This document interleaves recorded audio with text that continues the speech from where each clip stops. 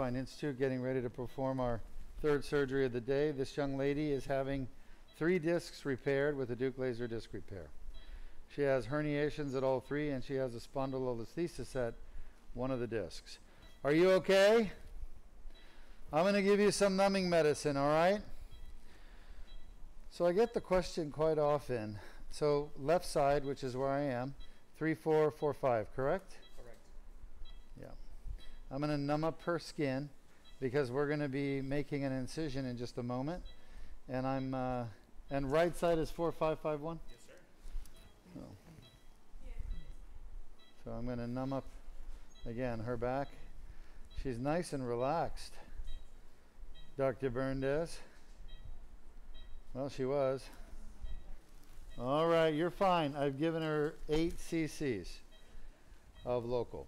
So we use local anesthetic to numb things up so it doesn't bother the patient as much when we uh, make the skin incision or when we go in with a needle. Now the biggest issue here is L45 as far as I'm concerned. L45 is in bad shape.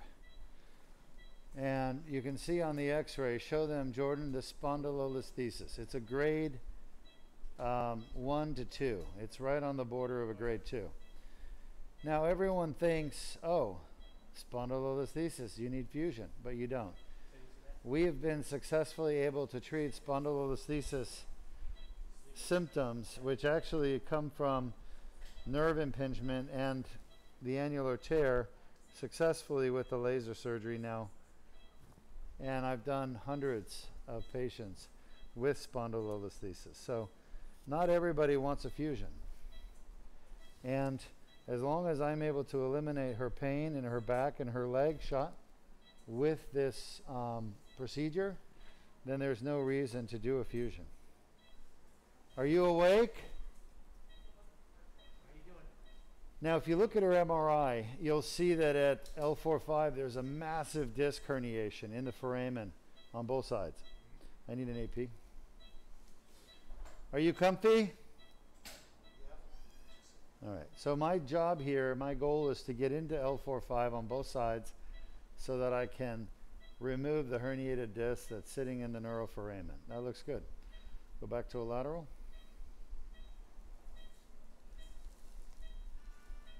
You can actually see the pars defect. There's what's called a gill body there. Uh, where do you feel that? Where you feeling that, sweetheart? In your back? Yeah. Or down your leg? Back or your leg? So what? The right. Is it going down to your just your back, right? Yeah. It's a shin. What's that?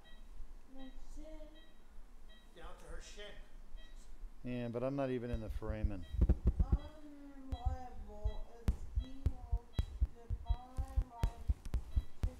Why are we getting all this feedback on the mic, guys? I hear noise. All right, let's make an incision. I was cleaning the mic, Doc. Don't do that, please. You just lay still, okay? All right, so we're going to make our incision. We're going to place our second needle at 3 4. So it's left side 3 4 4 5. Everyone agree? Thanks. Shot? A 3 4 will be a little bit easier to access because it's a much more normal level, except for the herniation. Don't move. Let's have some num num. Okay. Just relax. You're doing fantastic. You all right? Doing great. Doing, doing good? Yeah. We're going to numb her up a little bit as we do this.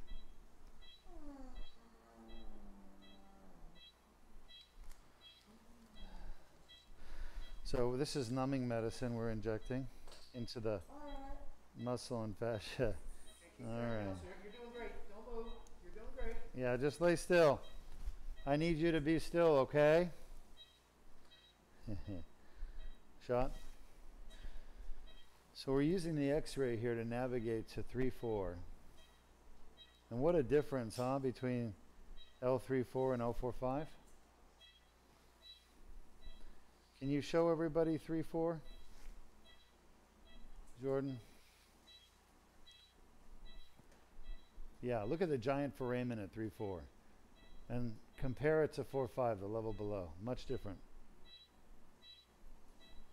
But so far, so good. Shot. So we know she has a herniated disc here. I actually feel it right here. I'm bouncing on it. You okay? She's a little sleepier. All right, so AP, I'm happy because we're way below the exit of the nerve root, which would be the L3 nerve root. We're just lateral to the L4 nerve root, which is traversing.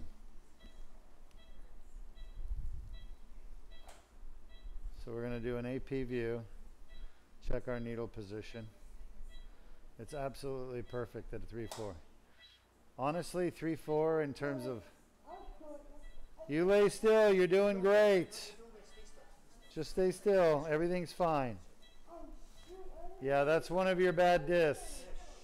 Shot, I already put it. So just. Huh? What'd she say? My deepest apologies. You're great. Shot. Almost, almost gonna put you to sleep soon. I just need a few more minutes to work. Oh, that's right. Shot. You're doing great. Just relax. Yeah, you're doing great. Just relax. Thank you. So this is the hard level at 4-5. I'm right at the back of that disc. And I'm right at the back of L5. I need to just get right over the hump there. There's like a little hump. Shot? That's the spot. Yeah, I know. I need you to, to lay still so I can finish what I got to do. You're doing good. Just lay still. All right. So I'm right there. Um, honestly, if she just relaxes a little bit more, I could probably get it. So what I'm going to do is I'm going to move on to the other side and give her a chance to relax a little. You're doing good. Just relax. Just stay still. You're doing great. We're holding your hand here. So on the other side, we're going to do 4 5 and 5 1. I've already numbed her up with Novocaine on this side. And first thing I'm going to do is go down to 5 1. Shot. Okay, it's good. You just lay still. You're doing good. You're doing great.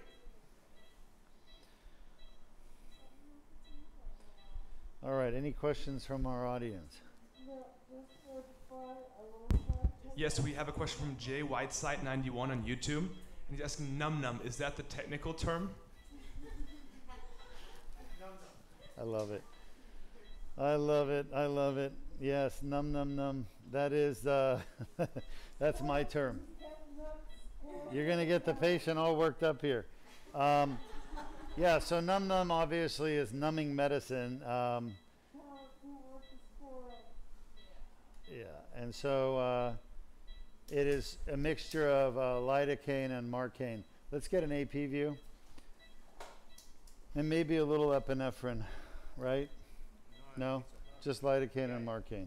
Actually, the num num doesn't have lidocaine and marcaine, but the skin does have epinephrine. Uh, Sorry, the num num has lidocaine and marcaine only. Correct. Skin has a little epinephrine. All right, so yeah, let's go back to a lateral.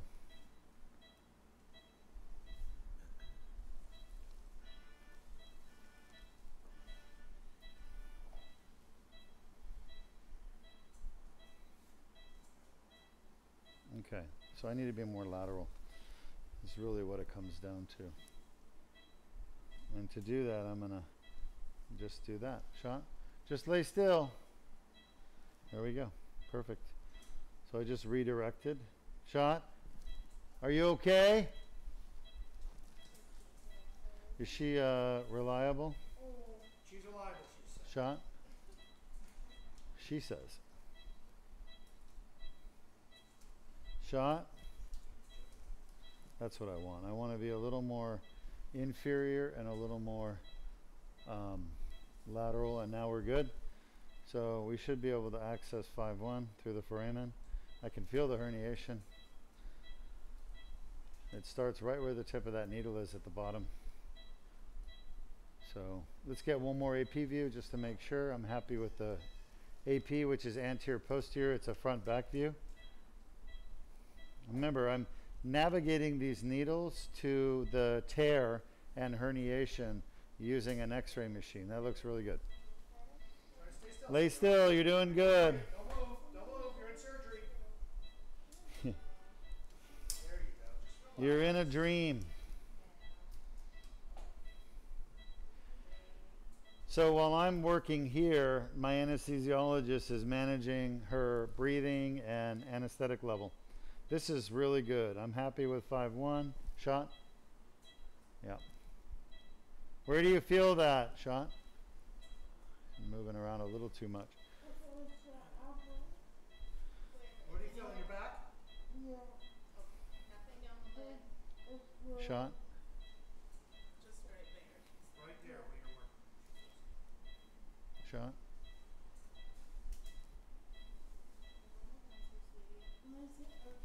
Big tear. Big tear there. That needle went in. The needle shouldn't go in that easy. I've gotten used to the feeling of a tear in the annulus, and that thing just went in. So I think when we do our discogram at 5-1, you're going to see like a lot of um, dye just leaking out very easy through a big tear. Now, normally when you do a discogram in a normal disc, there shouldn't be any dye leakage. It, it stays in the center as what we call a cotton ball and that's because it looks like a cotton ball a little black cotton ball.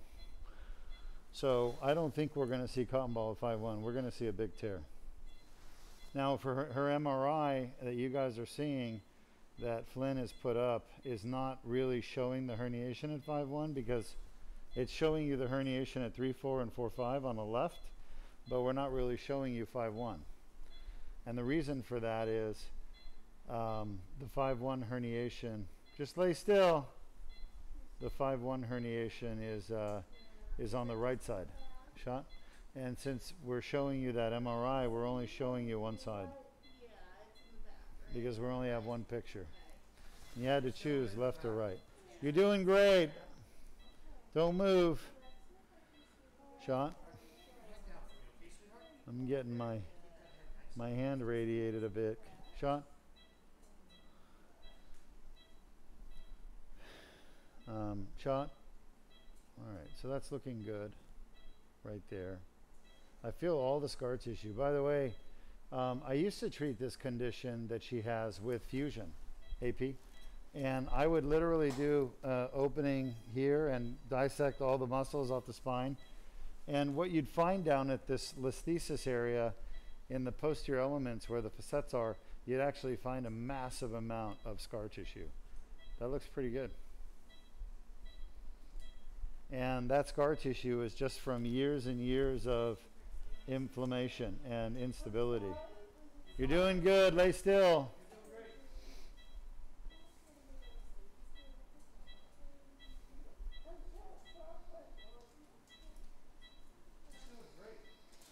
All right.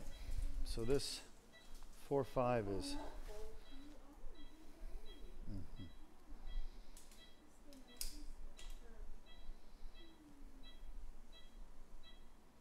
I feel the herniation shot. Now what I want to avoid is this needle lifting. You feel that in your back, shot? I'm right inside the herniation. I can feel it. Yeah. Well, that's her bad disc. Shot? We did it. It's there. Yeah, you're doing great. Just hang in there. Almost done. That's your bad disc. Now I gotta maneuver the other one. Oh, shot.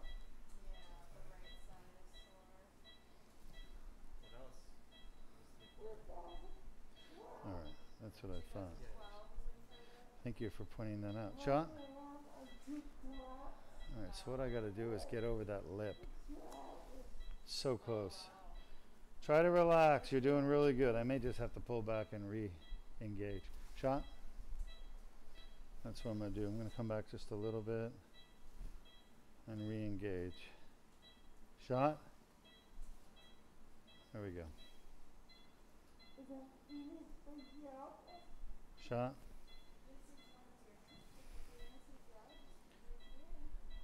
Could you please put the two percent dealership your process? What is she asking?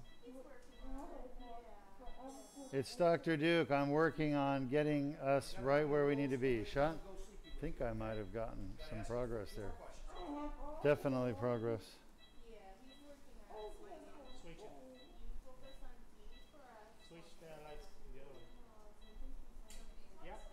Shot.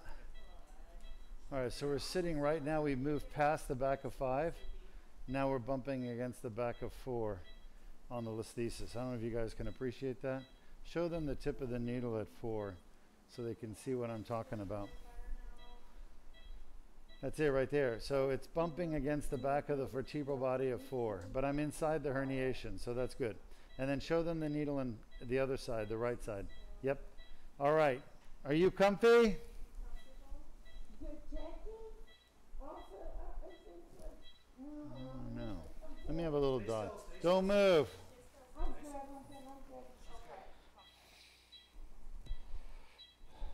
Shot. Shot. Shot.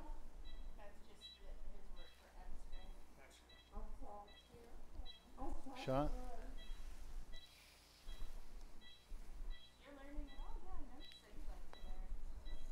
AP. She must be on some good stuff. Really good stuff. What are you What are you taking for your pain?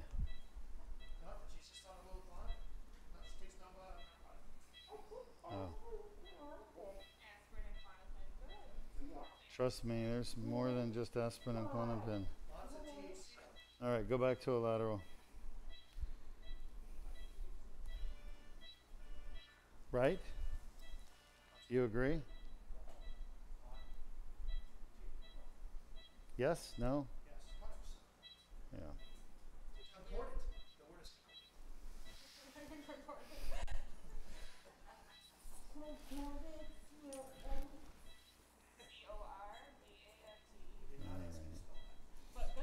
How bad is that on a scale of 1 to 10?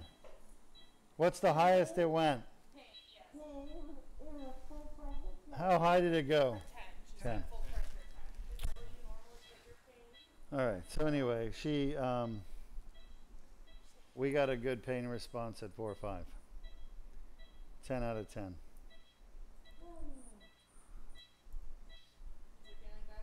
Yeah. After doing mechanism for that cycle. So I'm not quite in the disc at 4 or 5 yet um, on the left. Just lay still. We're going to be ready to put her to sleep soon. Shot. How bad is that on a scale of 1 to 10? Zero to ten. Tell us how much bad it is. Um, four, but we, we do not have to remove the supervision. All right. Let's go ahead and put her to sleep. All right. So our our I feel our discogram is not reliable because of whatever she's taking has uh, sort of affected. But we got a good one at 4 5, which is a 10 out of 10. And 5 1 and 3 4. I'm not really sure. I couldn't really get a good response.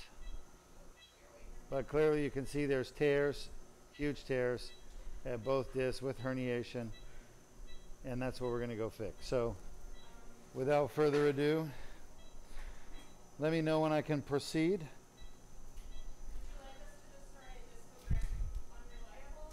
Yeah, unreliable discogram. Um, but uh, put grade um, grade 4 tear at, at L34 and L5S1. And a grade 5 tear at L45. All right, we'll start with uh, L34.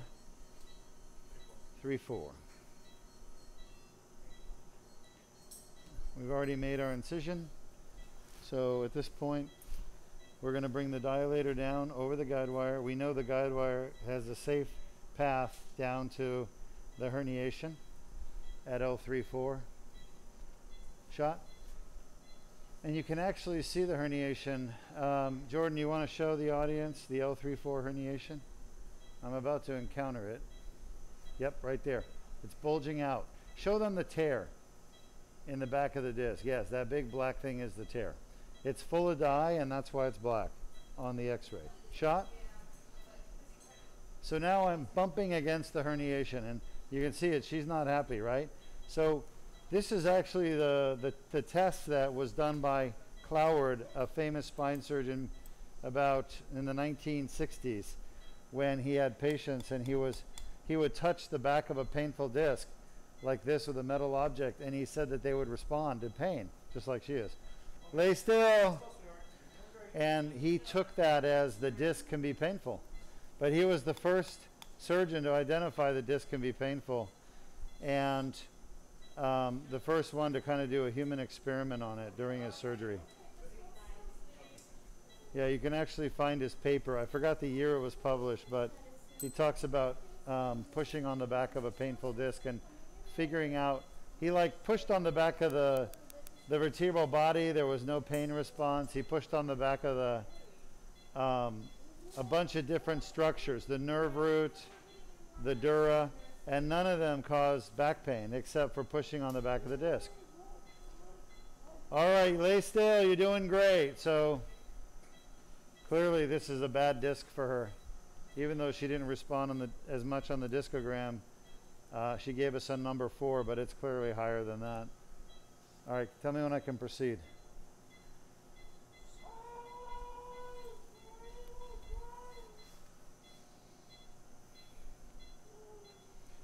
We'll wait for her to get a little more comfortable. All right, in the meantime, do we have any questions? Chet. Yes, we have a question from Seer on Facebook. Is the disc protrusion the same as a herniated disc? Also, does this laser surgery help with foraminal stenosis? Yeah.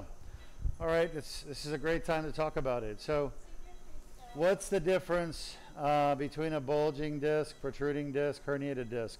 They're all the same. They all start with a tear. Show them the tear in the back of the disc again. Look for the white arrow on the x ray. Can you go to the x ray, Flynn? Do you see Yes, the white sir. arrow? Yes, we do. All right, so the first thing that happens is people get a tear in the back of their disc. Then the jelly from the center pushes through the tear. And if it's a small protrusion of jelly, it's called a bulge or protrusion. If it's really big, they call it a herniation. There's really no distinguishing based on size or characteristics. It's just they're all the same. Herniated disc, bulging disc, protruding disc, extruded disc, ruptured disc, uh, extravasated disc. They're pretty much all the same thing. How are we doing, guys? Doctor? All right. How is her shoulder? Are we okay? And it's kind of back a little bit. It's not. Shot? All right, you're doing fine. Lay still. So, obviously, this is a painful disc for her. Uh, obvious to me. Shot?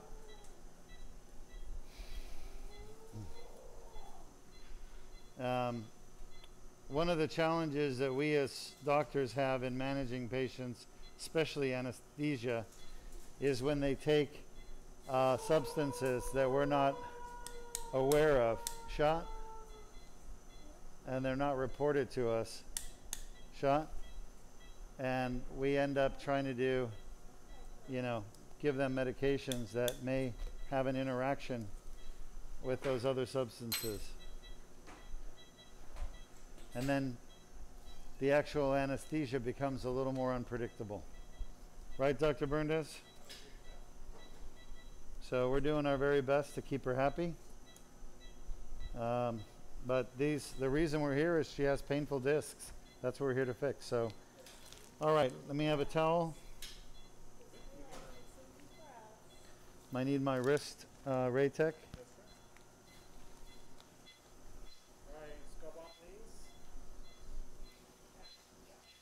Here.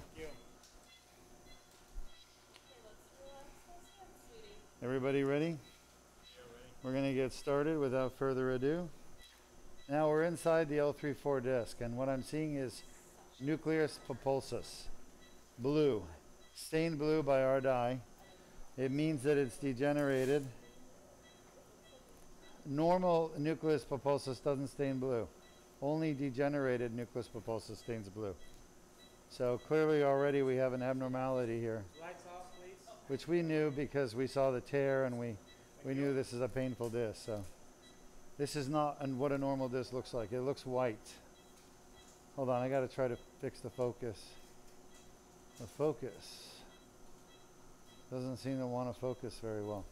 Maybe it's the blue dye leaking out. All right, we ready?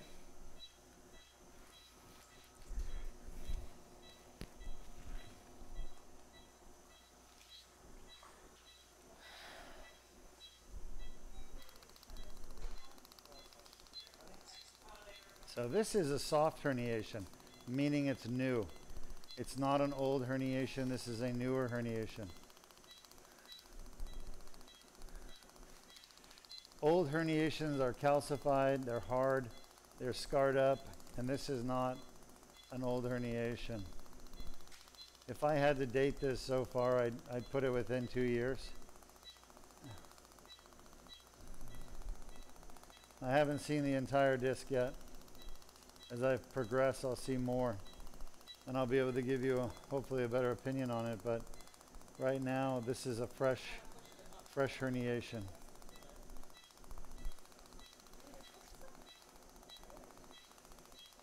She doing okay? Doc, Yes. we have a question from YouTube, from All right. Elred. He has three questions. I'll start with the first one. Will this procedure allow the disc to return back to its normal size?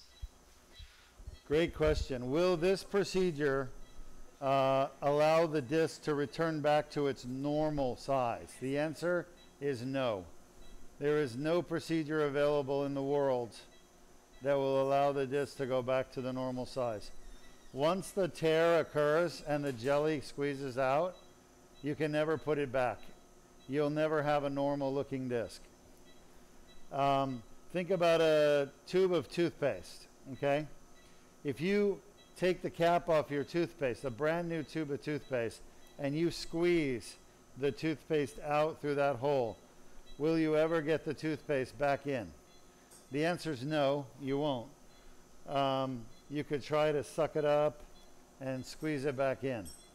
But once the toothpaste comes out, it starts to dry up and get chunky. And that's kind of what happens to this disc. It gets abnormal once it started to degenerate. And we're trying to remove the abnormal part, but you can't put it back in. There is no synthetic disc available today. the closest you can come to a normal looking disc after a bad disc injury is to take a dead person, cut the disc out of their spine, and transplant it into your spine. And of course, that's not allowed to be done in the United States, but they're experimenting on it in other countries. Now, would I ever recommend that? Absolutely not. Because no matter what, you're going to have a reaction, an immunological reaction to that, that bone and disc that's being transplanted. So it's like any other transplanted tissue from a donor is you're going to have to be on suppressive doses of steroids, autoimmune, I mean immune suppression therapy in order to get the graft to take. And even then, I don't think it will take successfully. But it's been done once, experimentally, over in Asia. And uh, I don't see that as becoming very popular. There's no need for it.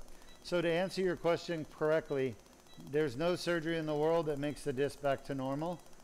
And what your goal is with surgery is to get rid of the symptoms for the patient long term. So to eliminate the back pain, eliminate the leg pain, eliminate weakness, numbness, tingling in the legs that come from a herniated disc. That's the goal. And this surgery you're watching right now is the absolute best surgery in the world for doing that. It also happens to be the least invasive. That's because we're not fusing or putting an artificial disc. We're actually repairing the disc.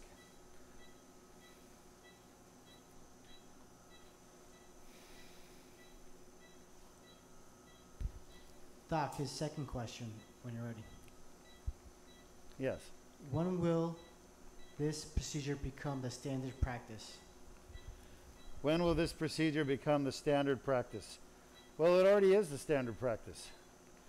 Um, it's just not the standard practice everywhere. So, just so you understand what a standard means, a standard means a treatment that is accepted, and um, it doesn't mean that it's done by everybody. It means that it's a reasonable, acceptable treatment. So, for example, uh, fusion, you could say, is a standard, is a standard treatment, but so is artificial discs. So, which one of them is the standard? Well, they're both the standard. Some surgeons would choose fusion, and some would choose artificial disc. Some would choose endoscopic disc repair. So, there's really more than one choice for patients, but of those three, this is the very best. So, when will it become more widespread? Great question. Look at the tear right there. Oh, that's so perfect for a tear. You can see the white fibers of the annulus. Then you got the blue stain of the nucleus that's stuck in the annulus, and then white fibers of the annulus. And that's the tear. That is the annular tear that we're here to debride. Every single patient has it. It's just really easy to see in this patient because it's kind of fresh. It's a newer tear. I think she fell. Didn't she fall at some point? 2012. Well, this injury is, um, the herniation looks younger than that. Now, oh. So we're finding out a little more history on this patient. I can't give you too many details, but let's just say that she had uh, hip problems, and as a result of her hip problems, she fell. That was in 2012. So it's possible she made the tear in 2012, but a lot of the herniation is fresh, like within the last year or two. So 10 year old annular tear, but more recent herniation. All right, question number three. Okay, Doc. Is can you hear me, Doc? Okay. Is this the permanent fixed action rather than fusion procedure? Yeah, is this the permanent fix rather than fusion? Absolutely. This is a permanent fix. Our patients that I've done 16 years ago when I started, they're still doing great. Um, can you re injure this disc? Yes, patients certainly do re injure their discs. As a matter of fact, our tally is at at 1%. One out of 100 of the surgeries I've done, they've re herniated and they needed another surgery. So, is it permanent in the sense that it can reherniate? No. But if you follow the instructions, it won't reherniate. And if you don't reherniate, it is permanent. Is fusion permanent? Well, how many people have had fusions to go on to have another fusion and then another fusion? Have you ever heard of adjacent segment disease? So, with fusion surgery and artificial disc surgery, there's plenty of cases where patients have the fusion and then have to have a second fusion or third fusion or fourth fusion. So that's really not a permanent fix to me. It's not permanent when you have to keep doing it over and over again. But with the Deuk laser disc repair, it is permanent and we don't get adjacent segment disease because we're not changing the biomechanics of the spine. We're keeping the natural movement of the spine, therefore there is no adjacent segment disease because there's no fusion or artificial disc being done. Ah, thought we wiped that.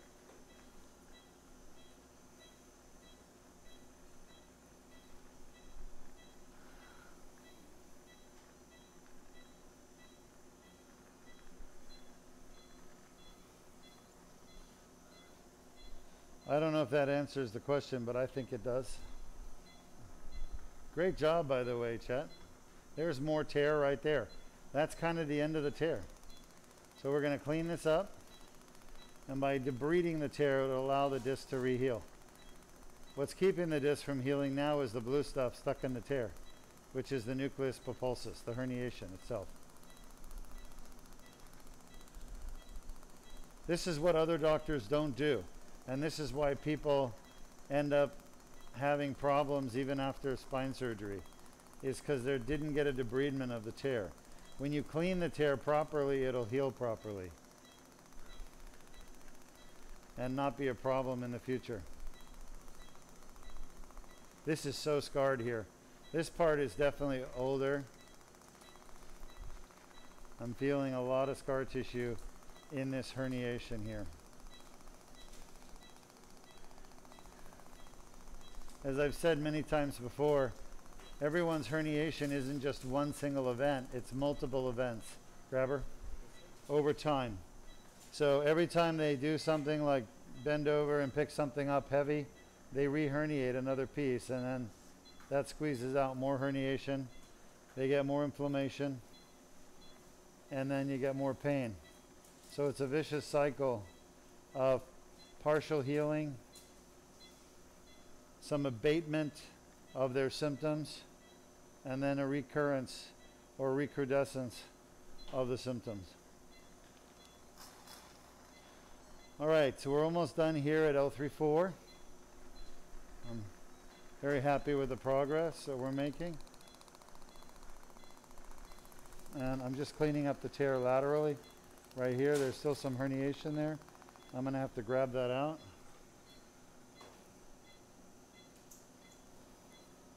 Had some really good questions.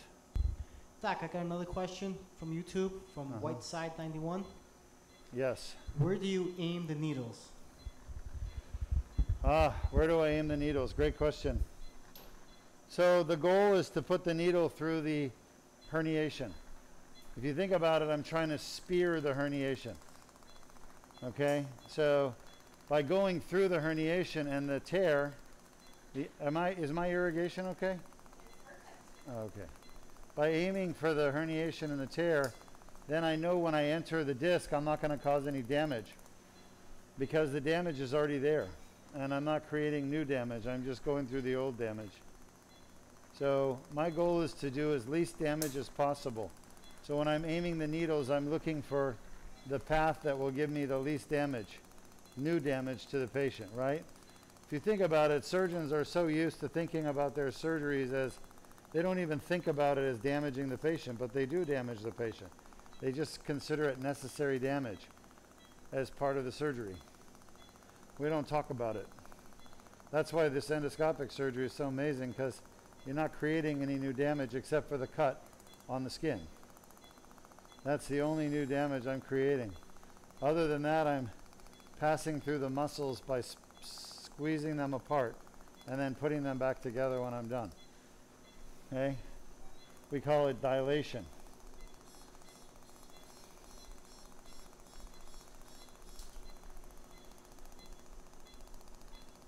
So I aim for the herniation.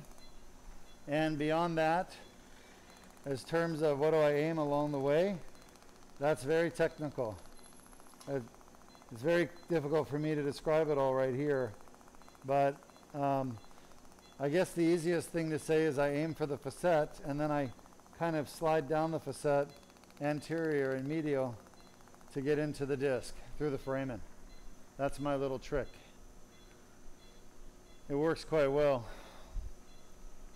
All right, just about done on this disc, and then we're gonna, I guess, try. Uh, I wonder if I should do the other side. Yeah, Luis wants me to do the other side first. He thinks, uh, I think it might be a good idea. So I'll switch sides briefly, and then I'll come back. By the way, that's bone right there. That whole surface is the end plate, the bone of the vertebral body. There's the other end plate up there. A lot of scar tissue. But this is where the herniation was here. This whole cavity now that I've created is, is the herniation's gone. All this here was the herniation. We have another question, doctor, from Sear on Facebook. Does this procedure help with foraminal stenosis, and can you explain what for- foraminal stenosis is? Yeah, sorry about that. I should have answered that earlier. Um, yes, foraminal steno- stenosis means narrowing.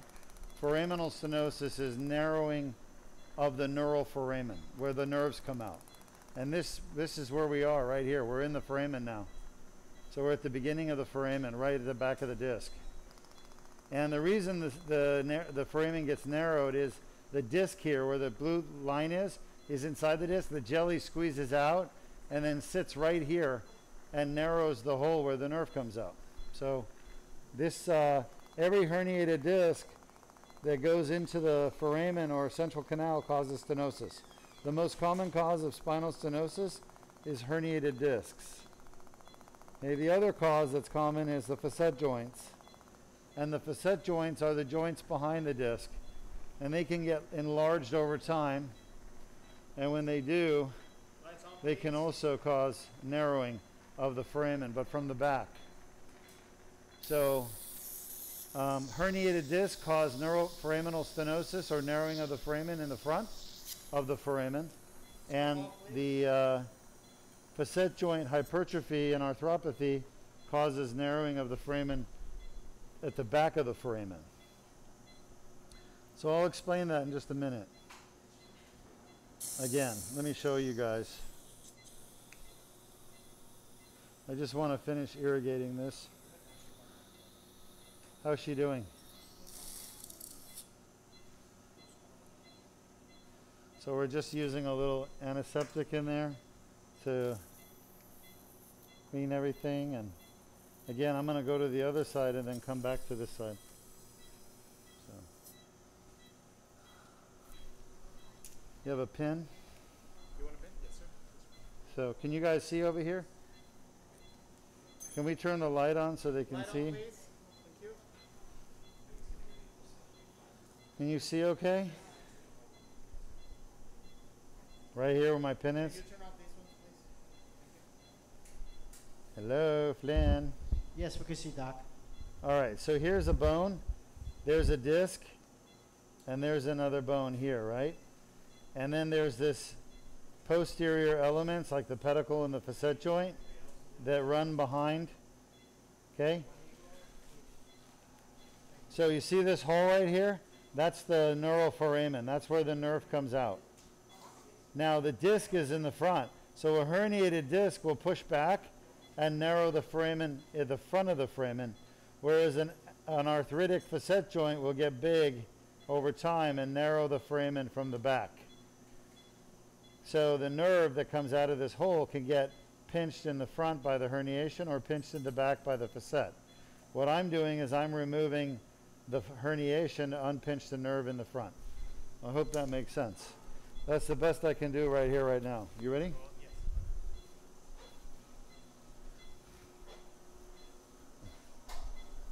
So I'm switching to her right because I was able to get into L45 on the right side. And I really want to make sure I get in there and clean that right side out.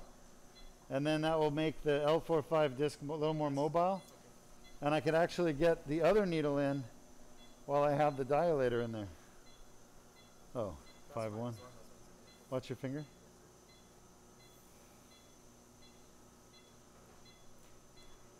Luis said I was about to stick it in the wrong hole. All right, shot.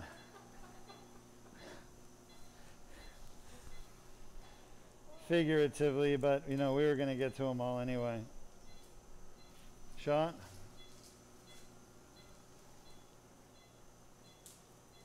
Shot. All right, good. So the guide wire is at 4-5 in the disc space nicely. And now we're going to come down again with a dilator, which will spread the tissues apart gently, causing no damage. So when I'm done, the only damage I've created with this whole surgery is that little seven millimeter cut. That's the beauty of this transforaminal endoscopic surgery. I did not create transforaminal endoscopic surgery. Dr. Parviz Kambin did it at Pittsburgh. He was the first one to do it. And he tried teaching it, but unfortunately, a lot of uh, it was really difficult. They didn't have the right tools at the time. They didn't have the right um, everything. I was going to say anesthesia. I'll wait. Lay still. You're fine. Yeah, this is the bad disc. Let me know when I can proceed. She's definitely ventilating well. Look, you got to look at the silver lining, right? She's ventilating well.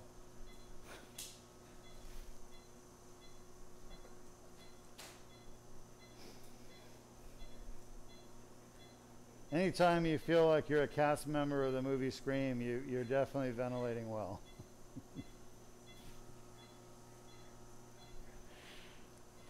How are we doing, Doc? Can I proceed or wait a few more minutes? All right, so this is on a scale of 1 to 10. This L45 is definitely a high level complexity, difficulty. Um, it's so hard to even get into these things, even when I do a full open surgery. Shot. And this patient is not any easier. I can tell you that right now. Shot. Whoa, there it is. We opened it up. That is awesome. I love seeing that. Huh? Should we leave that one over there? That's what I'm that's what I'm going to do. That's why I'm doing it this way. Now that we've got the bones apart from each other, now I'm going to put this one in. That was the whole point. But now I can't really see it as well either, so But what I'm saying is put, put dilator there it is, it's going in. Huh? Put the dilator already here. No? The dilator here. Yeah. Another one here. Boop, and leave it. Shot. You know, it's not a bad idea. Let's do it.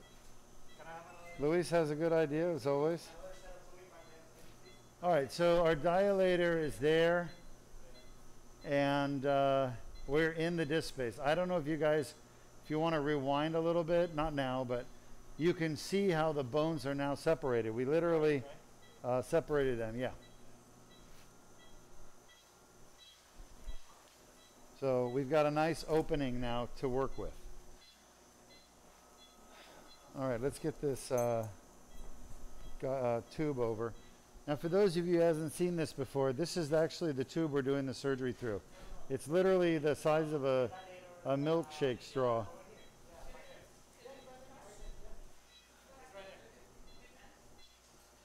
And she's doing fantastic. She's stable.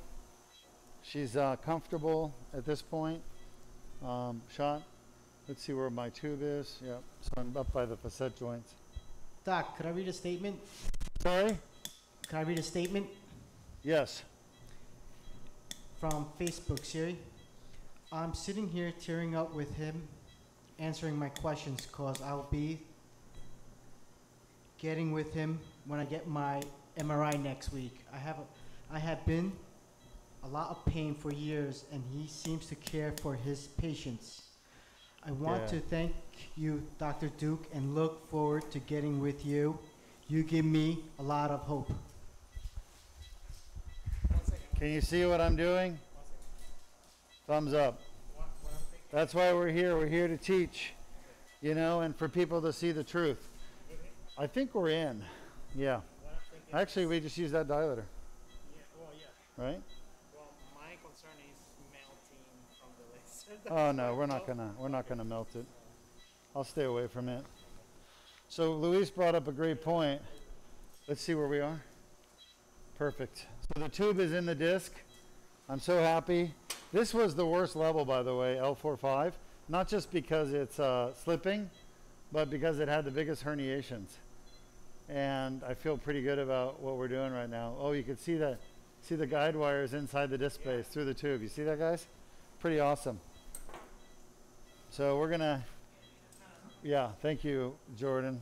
We're gonna take this out and leave the guide wire in. So needle coming off, guide wire staying. And once again, very difficult uh, level to treat because of how collapsed it is, how slipped it is, how big the herniation is. But we have just opened the foramen by another 20% by shoving the herniation down. Let's see what you got. All right, looking good. So we need to attack this a little bit more like this. Shot. You can see the, the dilator is going along the guide wire. So the guide wire creates like a train track for the dilator and it keeps us away from, you know, going in weird places we don't want to be.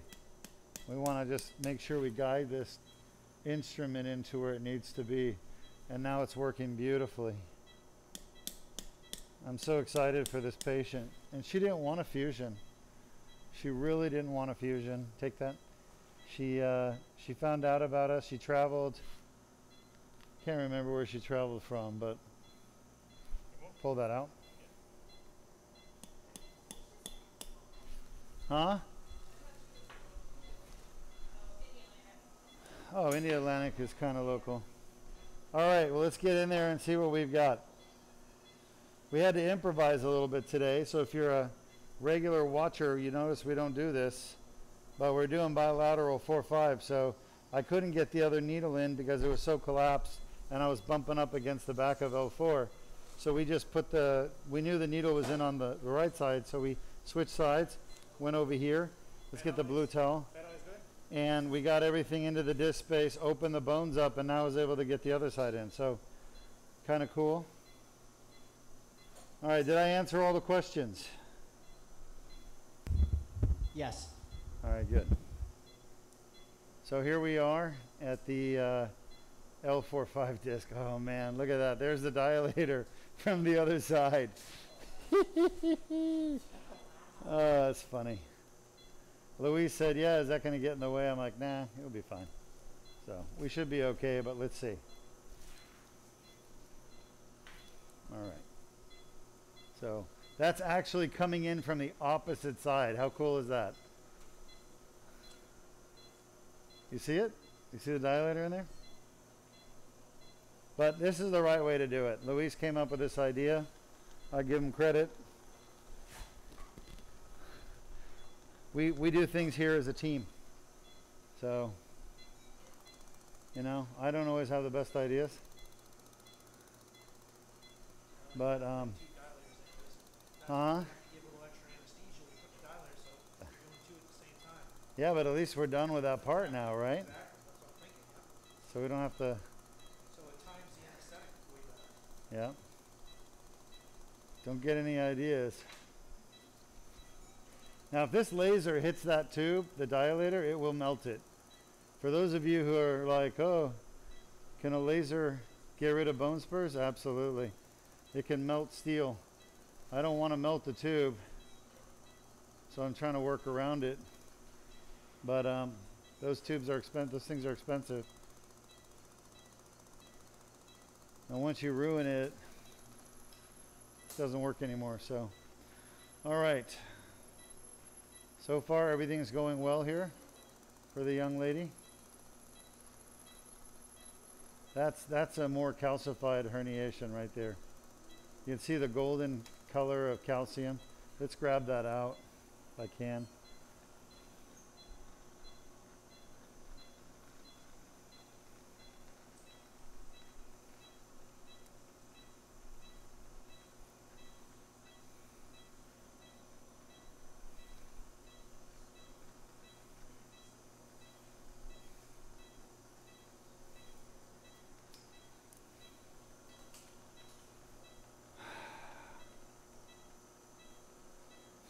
Here, grab her. I think that's a herniation right there. Look at the ingrowth of the blood vessel right there. You guys see that? All right. Look at look at that herniation. Look at the ingrowth off to the side there, right right there. Ah, I can't even point to it. Give me the laser. Look at the blood vessels right right in this area. See if I can point to it. Just right there, below the tip. You see the blood vessels growing into the herniation? That's why herniations get inflamed, right, right off to the side. That's why they hurt so much. There's a neovascularization. All right, let me grab it out. She doing all right?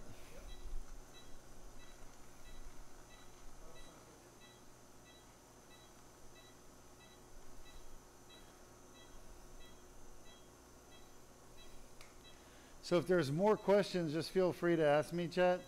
Don't wait for me to prompt you. Will do. All right, so we've already done three, four on the left.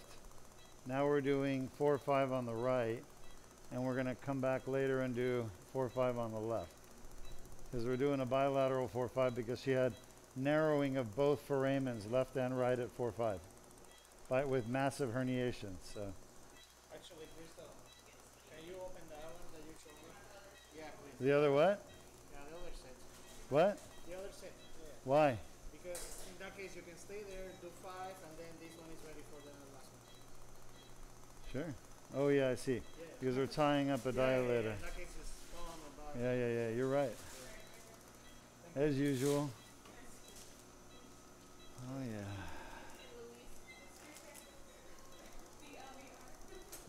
Is that her? She comfy? Yep. All right. Well, this had to be done. And I'm really hoping this is going to work well for her.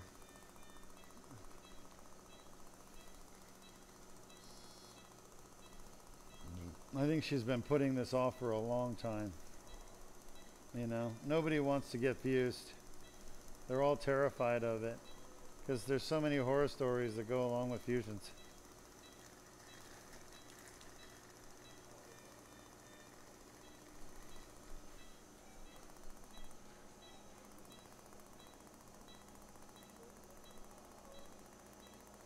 I've been in so many of these listhesis you know, with open surgery over the years, fusing, putting a cage in here.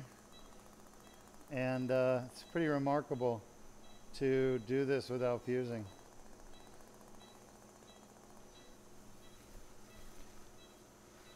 Okay, let's see.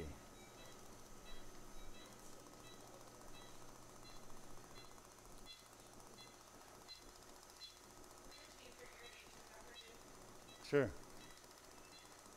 Thank you.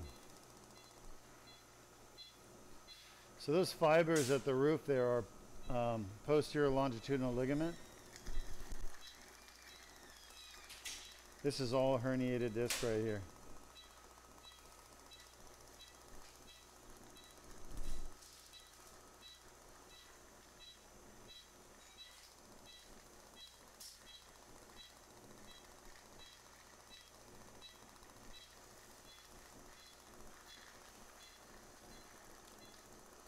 So we got one more surgery after this today. And that's going to be, oh, I, hit the, did I hit it right there? Hard to say. We've got one more surgery. It's going to be another lumbar Deuk laser disc repair.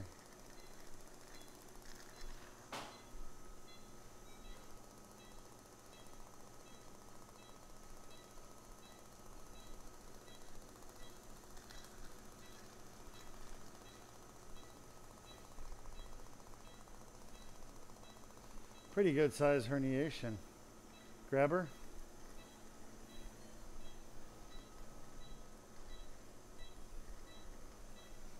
All right. We're just wrapping it up on this side. Almost done. Looking pretty good.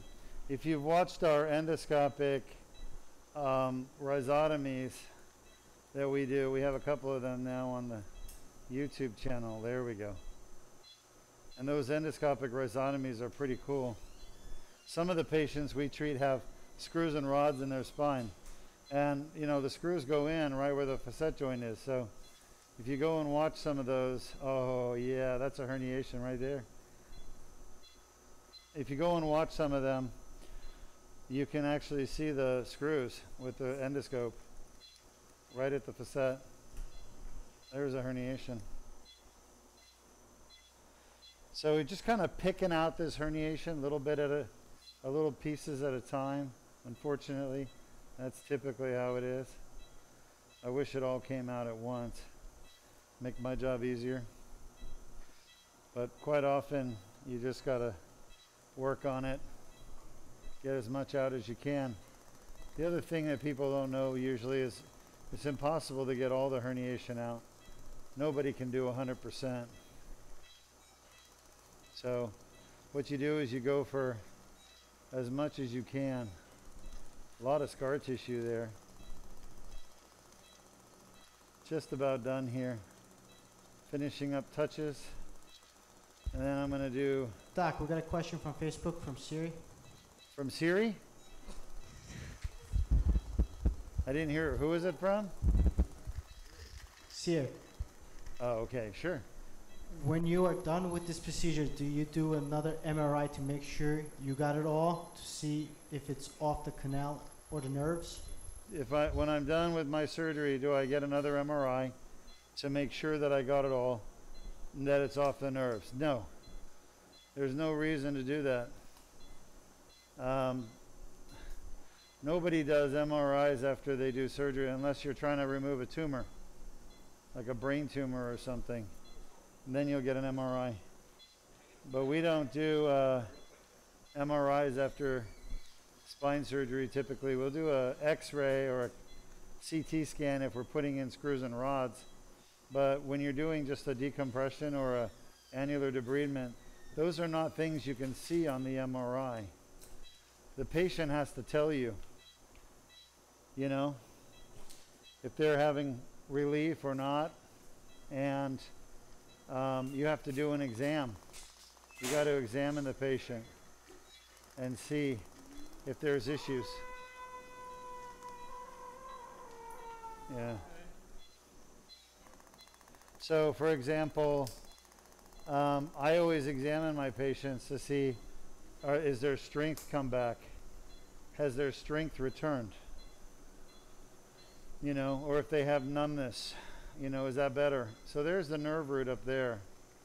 Um, you can see it right there. That white thing it's kind of the dura around it and the herniation is pretty much gone. I may be able to get a little more right there. She okay?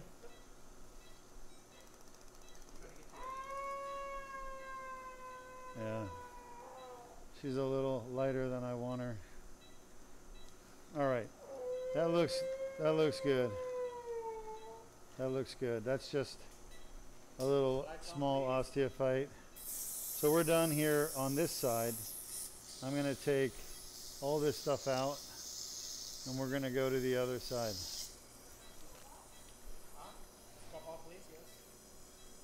She okay?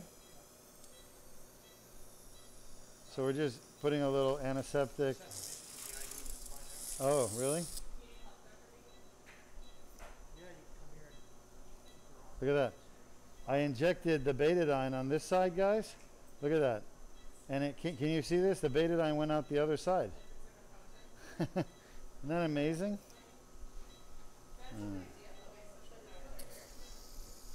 Yeah. Luis is the man with the plan.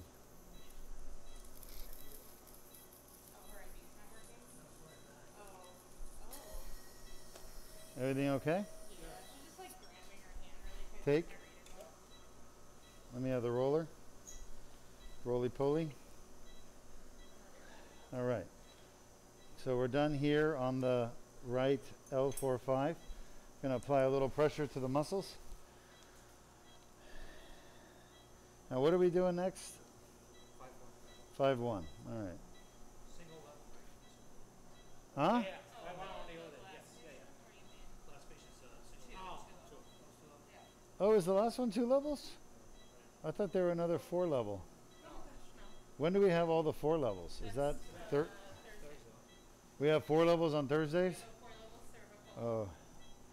So the, we're just kind of going over the schedule for Thursday, two days from now. We've got a four, I know we got a four level cervical.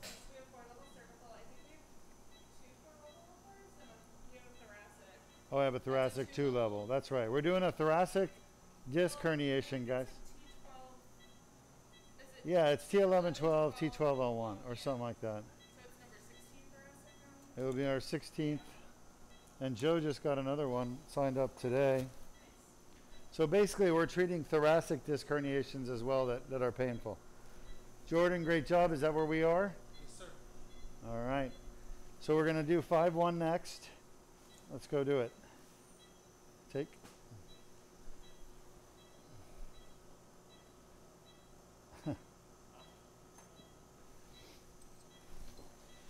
This double dilator thing.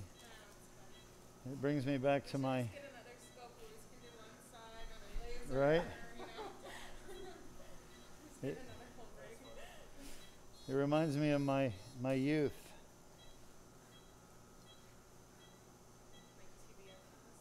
Huh? Like TB antennas? No, no. There was something that I was introduced to as a young child in California, and it had something to do with King Kong. the rest I'll leave to your imagination.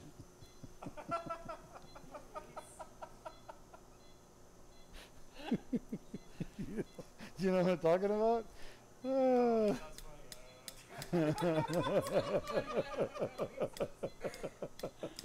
All right. Anyway, you guys behave. All right. So we're at we're at five one. yeah. Everything is Luis's. Everything is Luis's fault. All right. So we're working on the last disc, number five one, at this point. Let's get the dilator back. I mean the guide wire back. Yeah. Yeah. I think we're good. Sorry.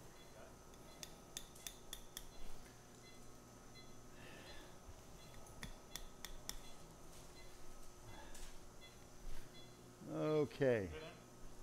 Yeah. So we've left the dilator in the left side at 4.5 because I'm going to come back to that. That's going to be the last thing I do. And uh, we'll be able to clean out that disc nicely. Shot? Ah, we don't want that. Kind of slipped back a little bit there. So a lot of pressure here in this disc. You see that? Let me see that shot. Yeah, I can't advance this without. Huh. Shot. Interesting. We talk about, gosh, look at that. Shot. We talk about inflammation. But look at that, just co- coming back out. Yeah.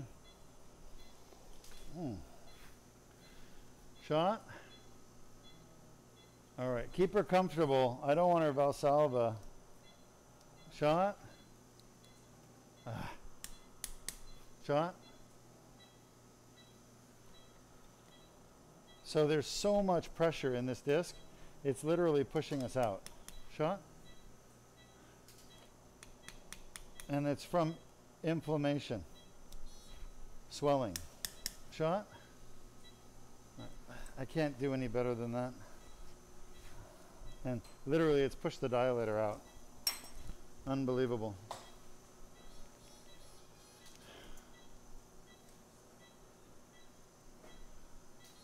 How's she doing? Good. All right, so inflammation causes swelling. We know that. And the disc is swollen, for sure. And that's probably a large part of her pain.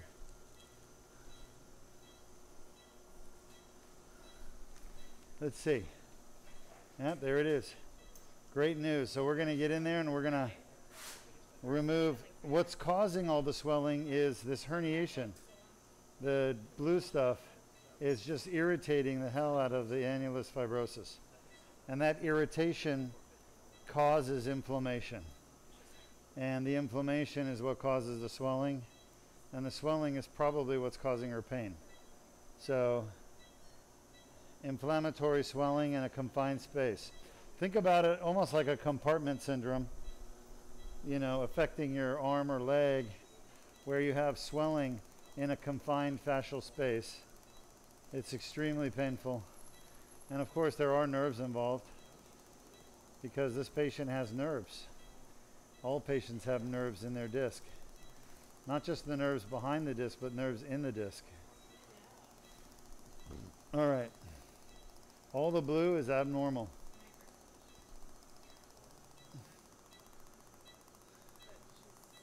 It's degenerating nuclear nucleus pulposus. So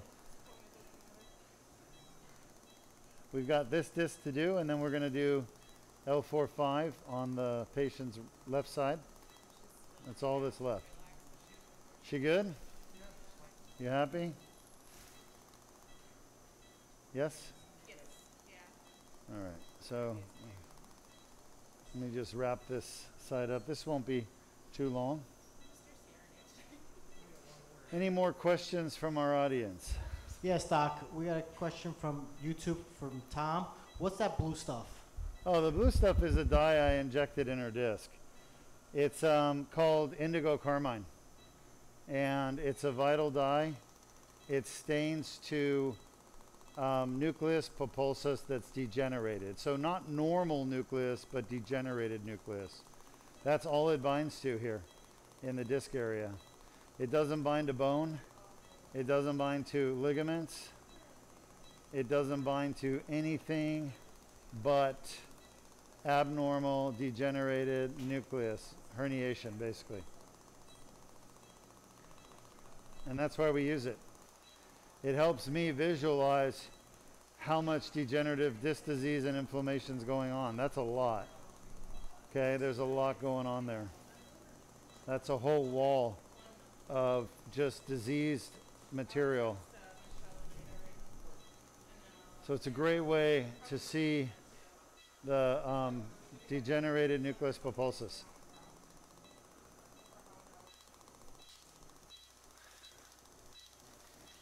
And that's been known by other doctors to use this. I was taught to use it by Dr. Uh, uh, Young, Anthony Young, my one of my mentors. He was my mentor for lumbar. Uh, the Koreans were my main mentors for cervical. All right, look right there. See that? That's nucleus pulposus, that white thing, but that is not degenerated. So this blue stuff is the damaged one and the other one is not damaged. So I'm going to leave that white stuff alone. That's, that's why we do the stain. You can see the tear happen below here, right through here, but it didn't go through this part. So the blue dye is really good for seeing the tear. Just about done. See the pink? That's inflammatory tissue. That's what we're here to get rid of. Yeah, we're going to do the left side next. And then we're done. We got about 10 more minutes. I'm just about done here.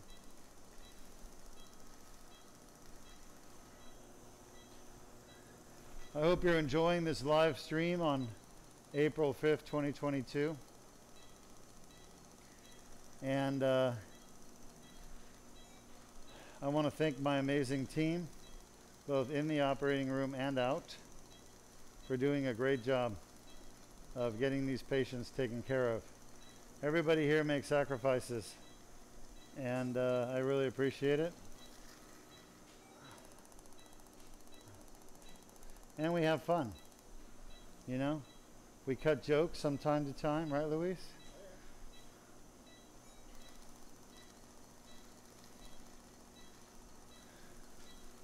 Now, Berndes, listen to me. When I'm gone, you make sure you make sure that Luis gets some time off. You hear me? And if you see him around here when he's not supposed to be, you you call the police.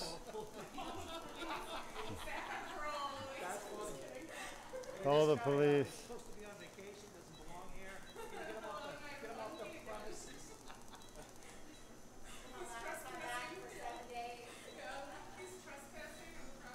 We're having a, we're having an in-service, I'm doing an in-service when you're gone on, uh, AICD's pacemaker and, and, uh, cardiac clearance work. on All right, good, good. Thank you for doing that. You're not thinking about doing all that stuff here, are you? Just kidding. Just kidding. You know, we should get Jong to come here and do some cases. All right, we're done. Yeah, yeah, I know. I've heard. You're doing a great job. Take that. Let's see if we can see the nerve. I always like to see the nerve if we can, but now it's embedded in all that fat. Why is there so much fat around the nerve?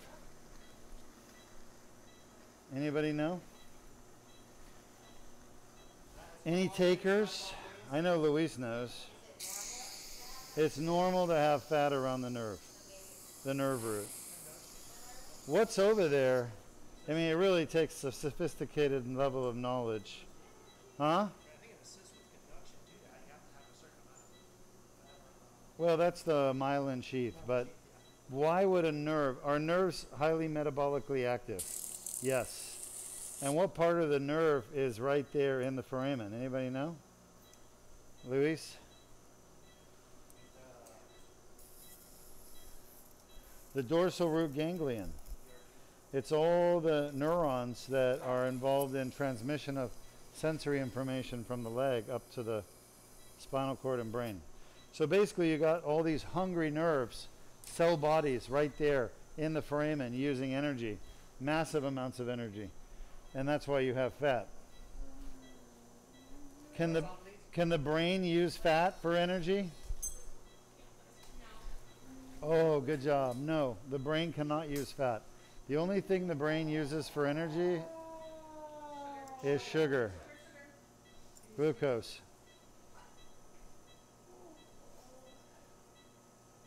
But nerves, nerves are not part of the brain, and they can actually use fat, even ketone bodies.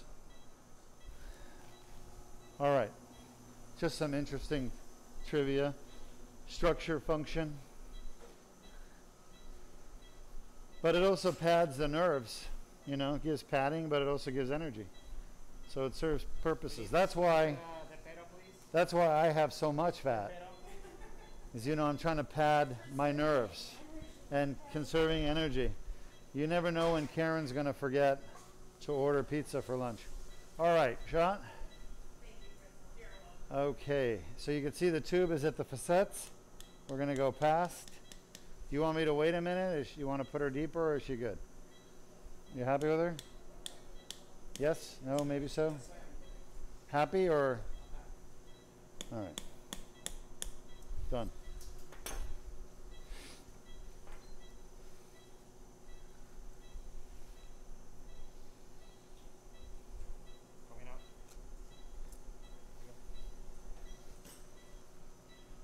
Beautiful.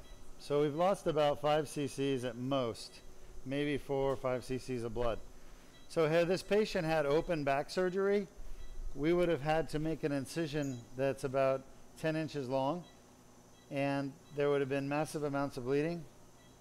But we've done this surgery basically bloodless, and the pain meds that people take for the surgery afterwards is for one night. They take a muscle relaxer and an anti-inflammatory. That's it. So there's no narcotics used. So this is safe surgery because it's outpatient. There's no narcotics used. I need to see the scope up there, guys.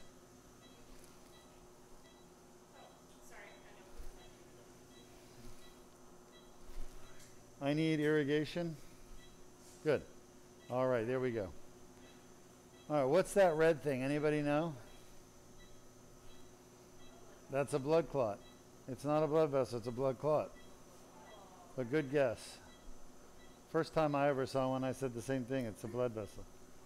But it's a blood clot. It's a good sign that her blood is clotting, which we always want, of course. All right, any more questions from the audience? This will be our last disc. It's going to be the left 4 5. No, doc. Thank you. Is the laser on? Okay, good. The reason we have a little more oozing um, is because we're getting the bleeding from the other side, which we already fixed, by the way. But it's going to shake up a lot of the blood clots.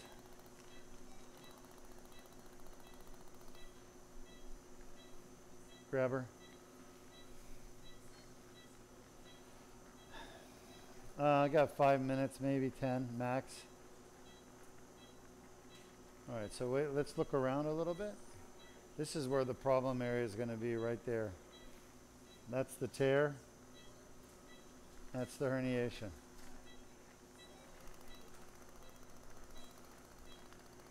All right, we've got one more surgery after this for those of you die-hard fans of the Deuk Spine Institute.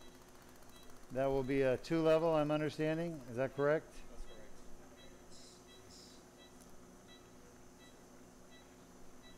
I got three minutes, maybe five max.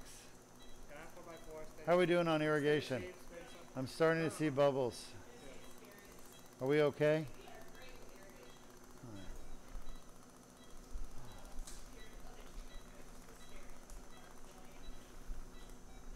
I'm gonna need a grabber so I can see.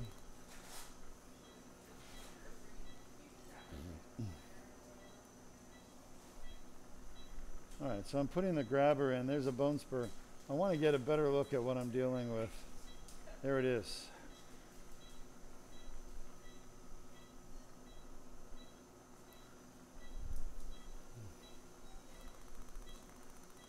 The reason we broadcast live is so people can ask questions and they can actually see the surgery.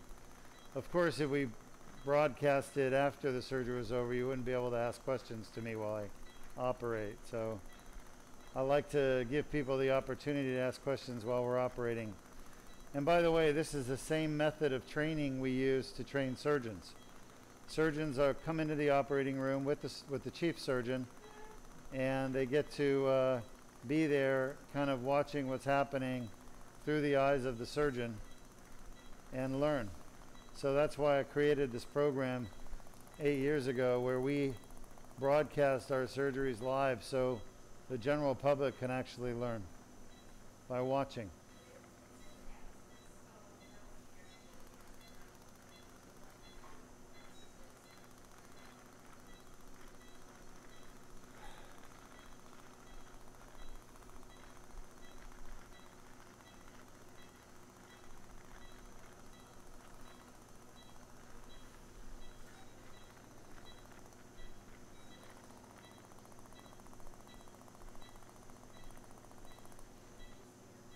That's a piece of herniation I'm gonna have to get out.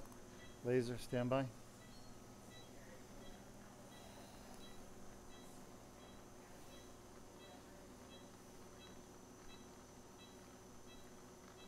Why does the mouth have tissue in it?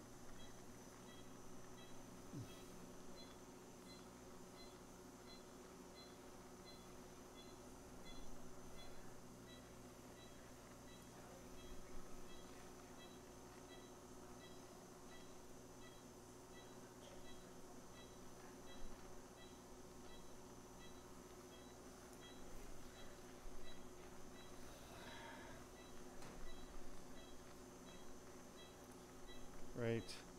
All right, just a couple of minutes and we'll be done. I'm just putting the final touches.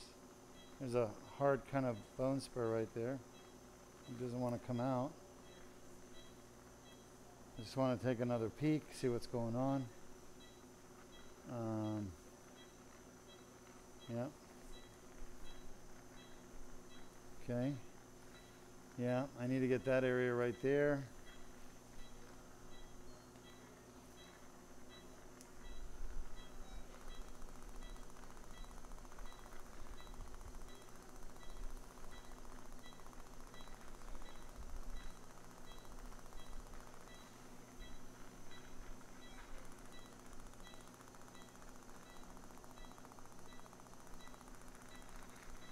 All right, let's take a look over here.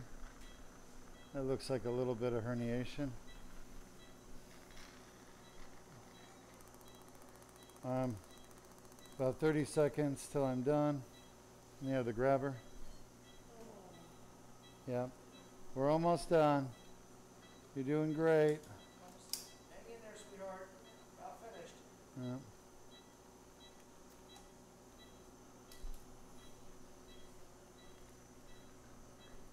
Let me take a peek. I feel like there's something right there, so let me see what I can do. Yeah. That's that big part of that big foraminal herniation she had. It's just sitting underneath the nerve. Ah, sorry. Just give me another minute or two.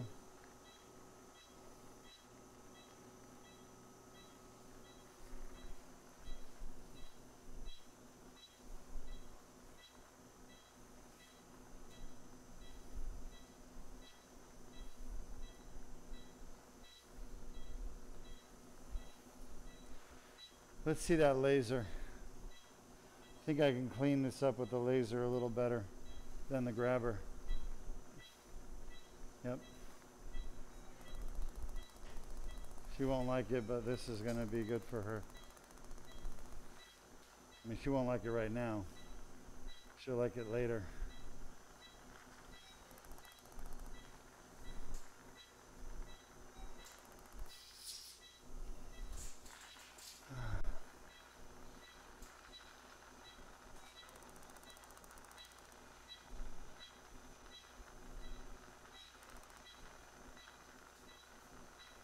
I need to move that. Move your hand somewhere. I got to get the fiber in the right place. Help me. Swing it one way or the other. Yeah, that's fine. Right there. Yep.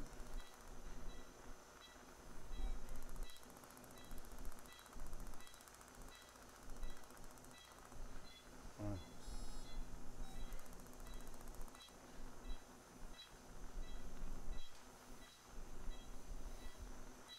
Wow. All right. Um, let me see the grabber. Seems like there's one more piece there. If I can get that, I'll be very satisfied.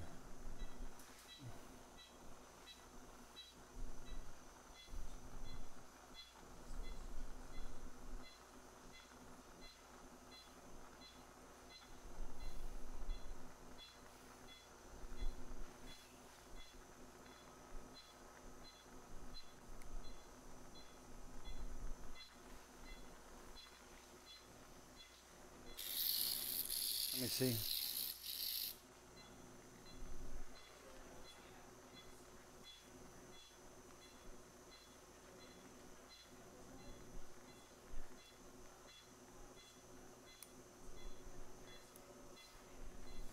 That looks good.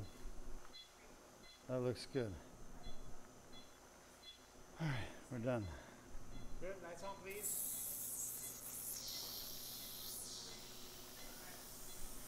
I'm happy with that.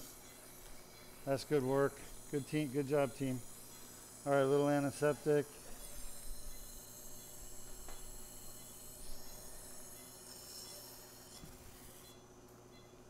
That doesn't work.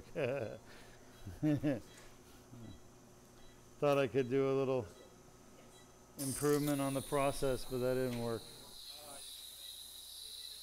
Yeah, let me have that other one. I do. I need that irrigation. Yeah. What's the issue? Yep. We'll be right with them. Just, is it bilateral or anything?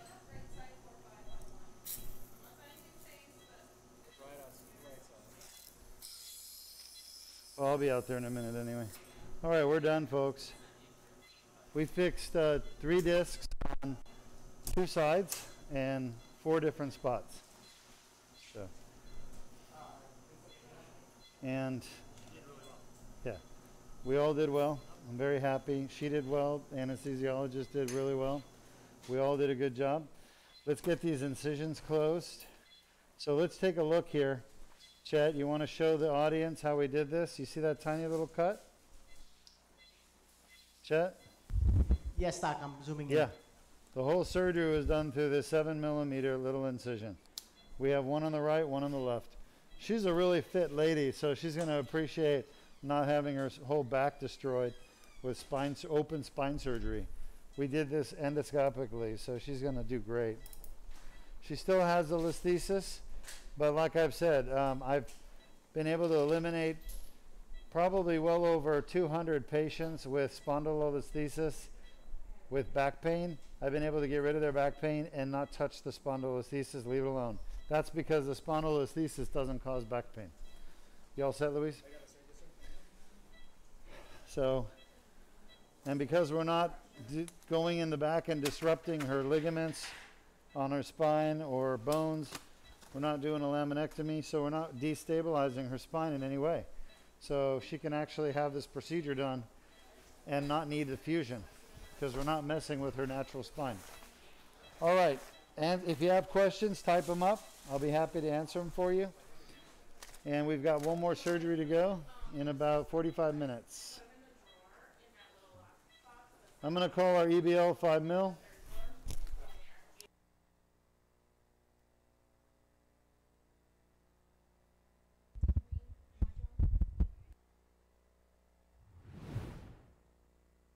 Dr. R. Deukmedjian here at Deuk Spine Institute. It's Groundhog Day, I believe, right? February 2nd, so 2 2 2020.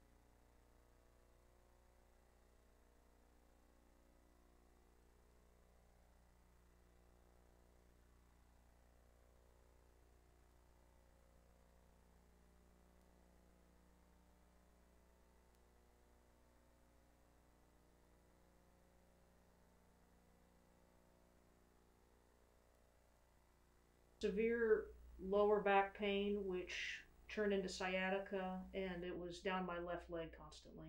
I slept about two, three hours a night at most, and I could not sit for more than five minutes, and I had to be standing up. And did you try some other treatments in Tennessee or elsewhere? I did. I, you know, when this whole thing started and it was a bad flare, I thought I'll be able to work through this. Chiropractic, physical therapy, two spinal injections, massage therapy. And how did you know those treatments did not work for you?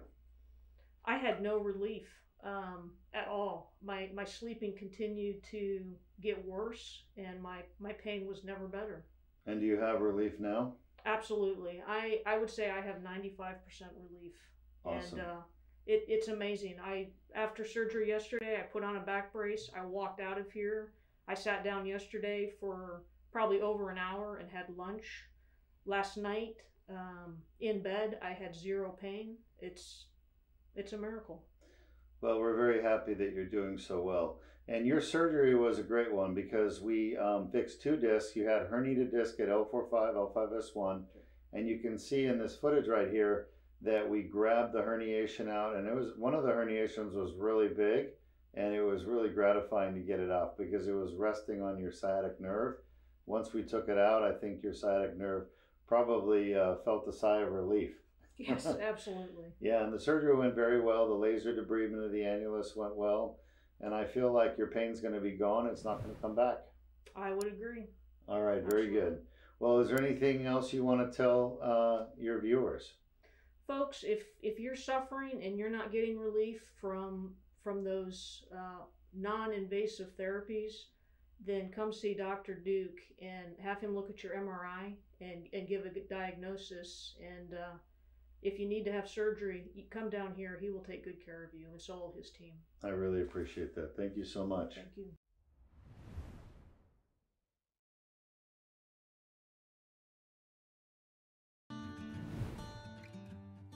I'm Dr. Ari Deukmedjian. It's January 26, 2022, and I'm here with one of my patients who you underwent the Deuk laser disc repair on your lower back for some herniated discs about a week ago. Yes, How are you feeling today? unbelievable. For almost three years, I had lower back pain, and um, it just, you know, it just nags at you, wears you out. And then I came here, and you were the first one. I went to two other surgeons, and neither one of them picked up what was wrong with me, even though I had the MRI. And you came in, and you told me exactly what was going on and you performed the laser surgery, and I'm like a different person.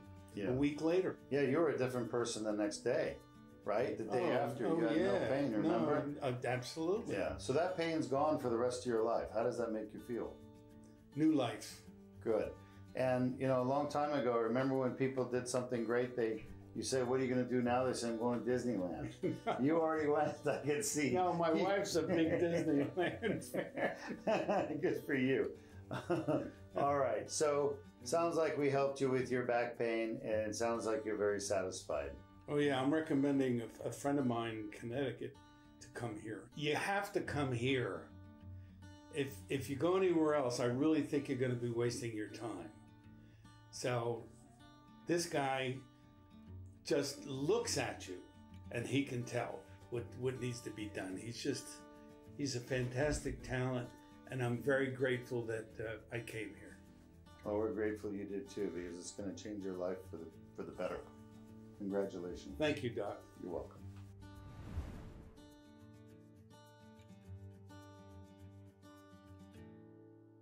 Good morning. I'm Dr. Deukmedjian. I'm here with one of my patients, and you traveled to Deuk Spine Institute here in Florida from where? Uh, New York, Poughkeepsie, New York. Awesome. And why did you come from New York to Deuk Spine here in Florida? because uh, I heard that this was the best place for me to go. What kind of problems were you having that you needed to come here? I had lower back problems and numbness in my leg, which was my left leg. This was the best place for me to come. Okay. So you had back pain, sciatica down your left leg, pain shooting down the left leg, Yes. and that was just yesterday, right? When Cor- you, you yes, had that's that. correct. Yeah. And, and what do you still have your back pain today? no more back pain. It's gone. Gone. And is that because we have you doped up on powerful painkillers? Nope. None No, it whatsoever. isn't. Did anybody in New York offer you spine surgery to fix your back? Yep. Yes, they did. Yeah. And they wanted to fuse it. Yeah. And you've had surgery before. You had a microdiscectomy, um, and that helped you for a little while, Yes. but the symptoms came back. Came back. Yeah. All right. Well, they're not going to come back this time. So, what do we do to make your pain go away? You fixed my back. I did uh, arthroscopic. That's right. Arthroscopic spine surgery called the Deuk laser disc repair. So, leg pain's gone, back pain's gone. Everything is gone. You happy? You did. Um, very happy. You're smiling. Yeah.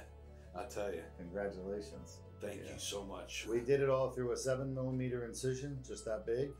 And you can actually watch that video right here, an animation, to see what it looks like to do the Deuk laser disc repair.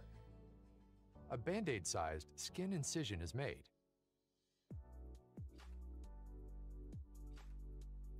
A small tube is inserted without damaging the bone or soft tissues.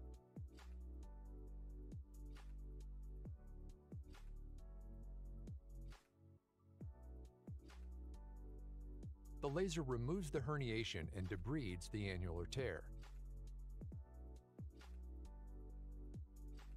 The annular tear heals on its own.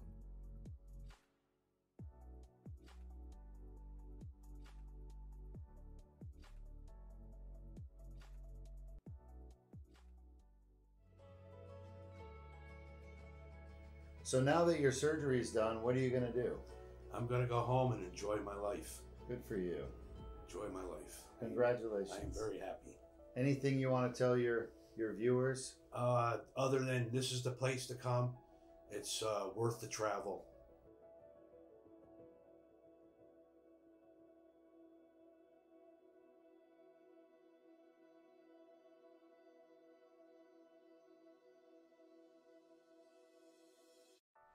Disc herniations are a common cause of chronic neck pain.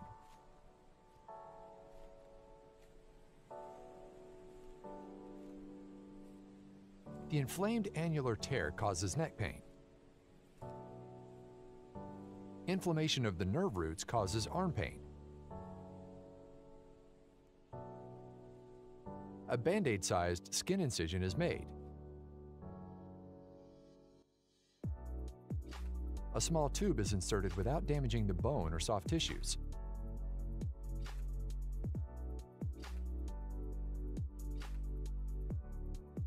The laser removes the herniation and debrides the annular tear.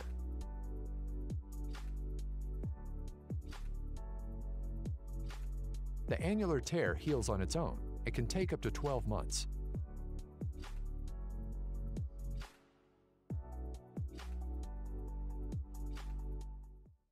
If you have a herniated or bulging disc and neck pain, submit your MRI for a free review at www.mri.deukspine.com.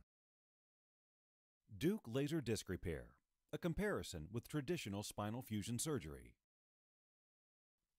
A symptomatic disc causing neck or back pain can include bulging discs, herniated discs, ruptured discs, degenerative discs, protruding discs, spinal stenosis, radiculopathy, and sciatica.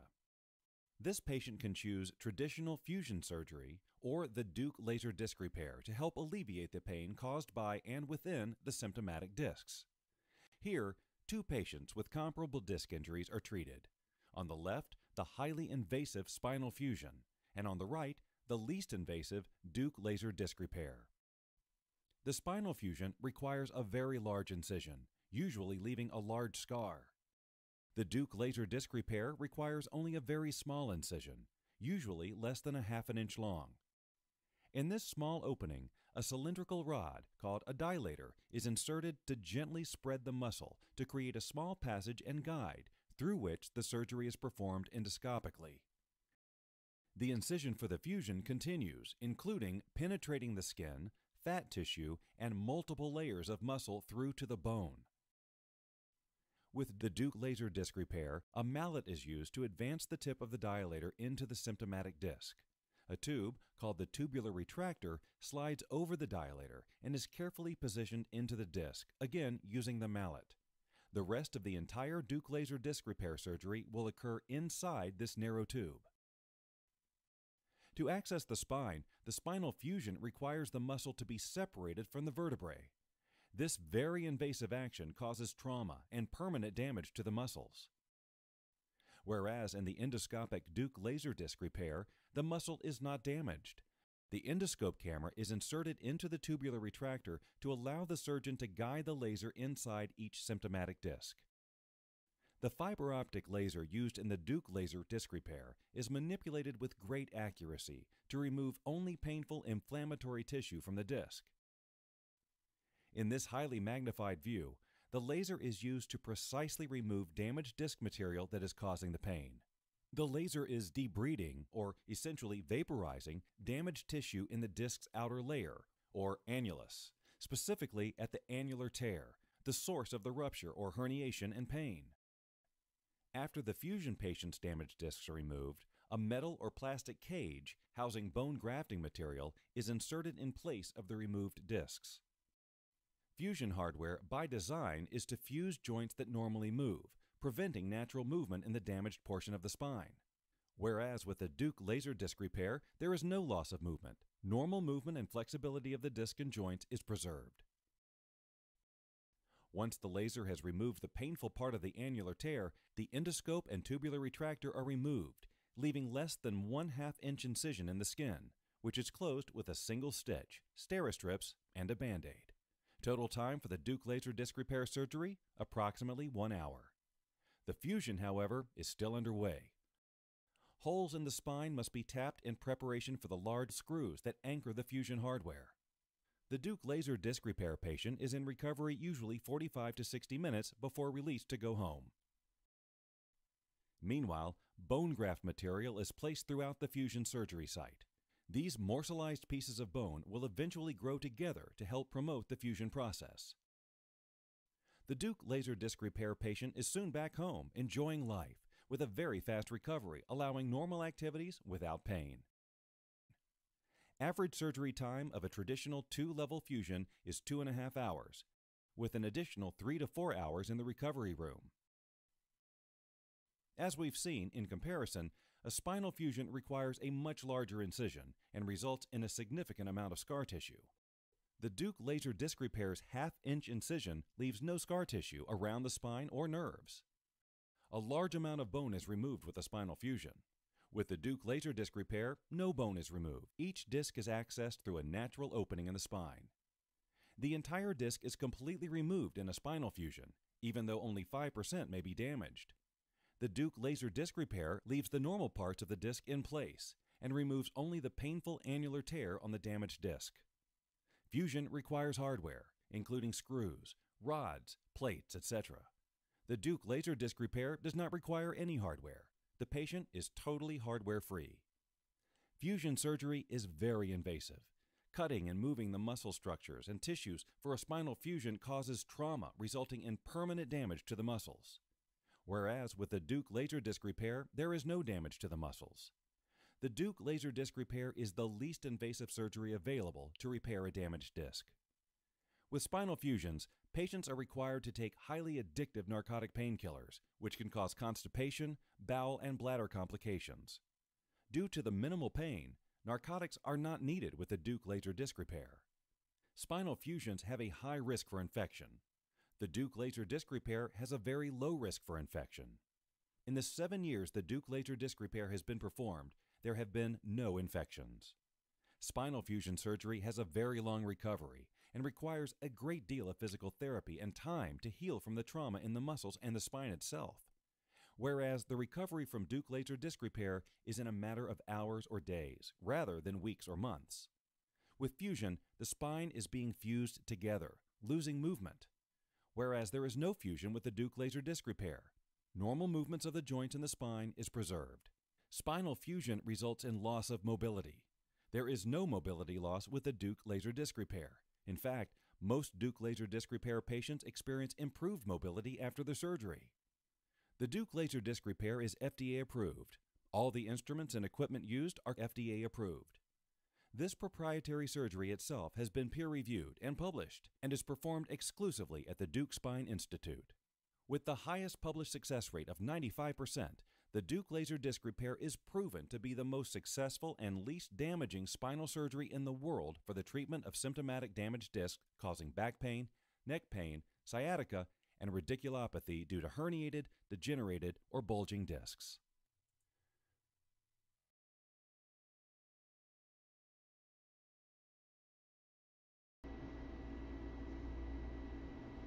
All right. Dr. Ara Deukmedjian here. We have just completed a very complicated endoscopic surgery on a patient's lower back for lumbar disc disease, and I'll call it lumbar disc disease because I I like that word. It is all encompassing, and it really just means a problem with the disc that causes disease. So, what is disease? Well, disease is different than um, something called degeneration. And degeneration of a joint means the joint is structurally abnormal. It's basically um, breaking down, breaking apart, falling apart. But not all degeneration results in what's called disease. Disease is basically uh, negative sequela of either um, anatomical abnormalities or uh, physiological abnormalities in the body. And what I'm trying to say to you is um, quite simply that just because a disc looks bad on an MRI, it's damaged, it's herniated, degenerated, doesn't mean it causes symptoms. So the fact that a disc is degenerated and causes symptoms means disease. But if you have a disc that's degenerated without symptoms and it's, no, it's not causing any pain or pinched nerve or anything, then it's not diseased. So degenerative disc disease actually implies symptoms to the patient as a result of the disc degeneration. So um, disc disease or degenerative disc disease is a very broad term and it includes everything from herniated disc, annular tear, bulging disc, ruptured disc, collapsed disc, spondylosis, you know, anything that happens to a disc including modic changes, which I don't want to go into. But um, the Deuk laser disc repair surgery you just watched is, in my opinion, by far, without any any question, it is the ultimate surgery for degenerative disc disease, which happens to affect hundreds of millions of people worldwide.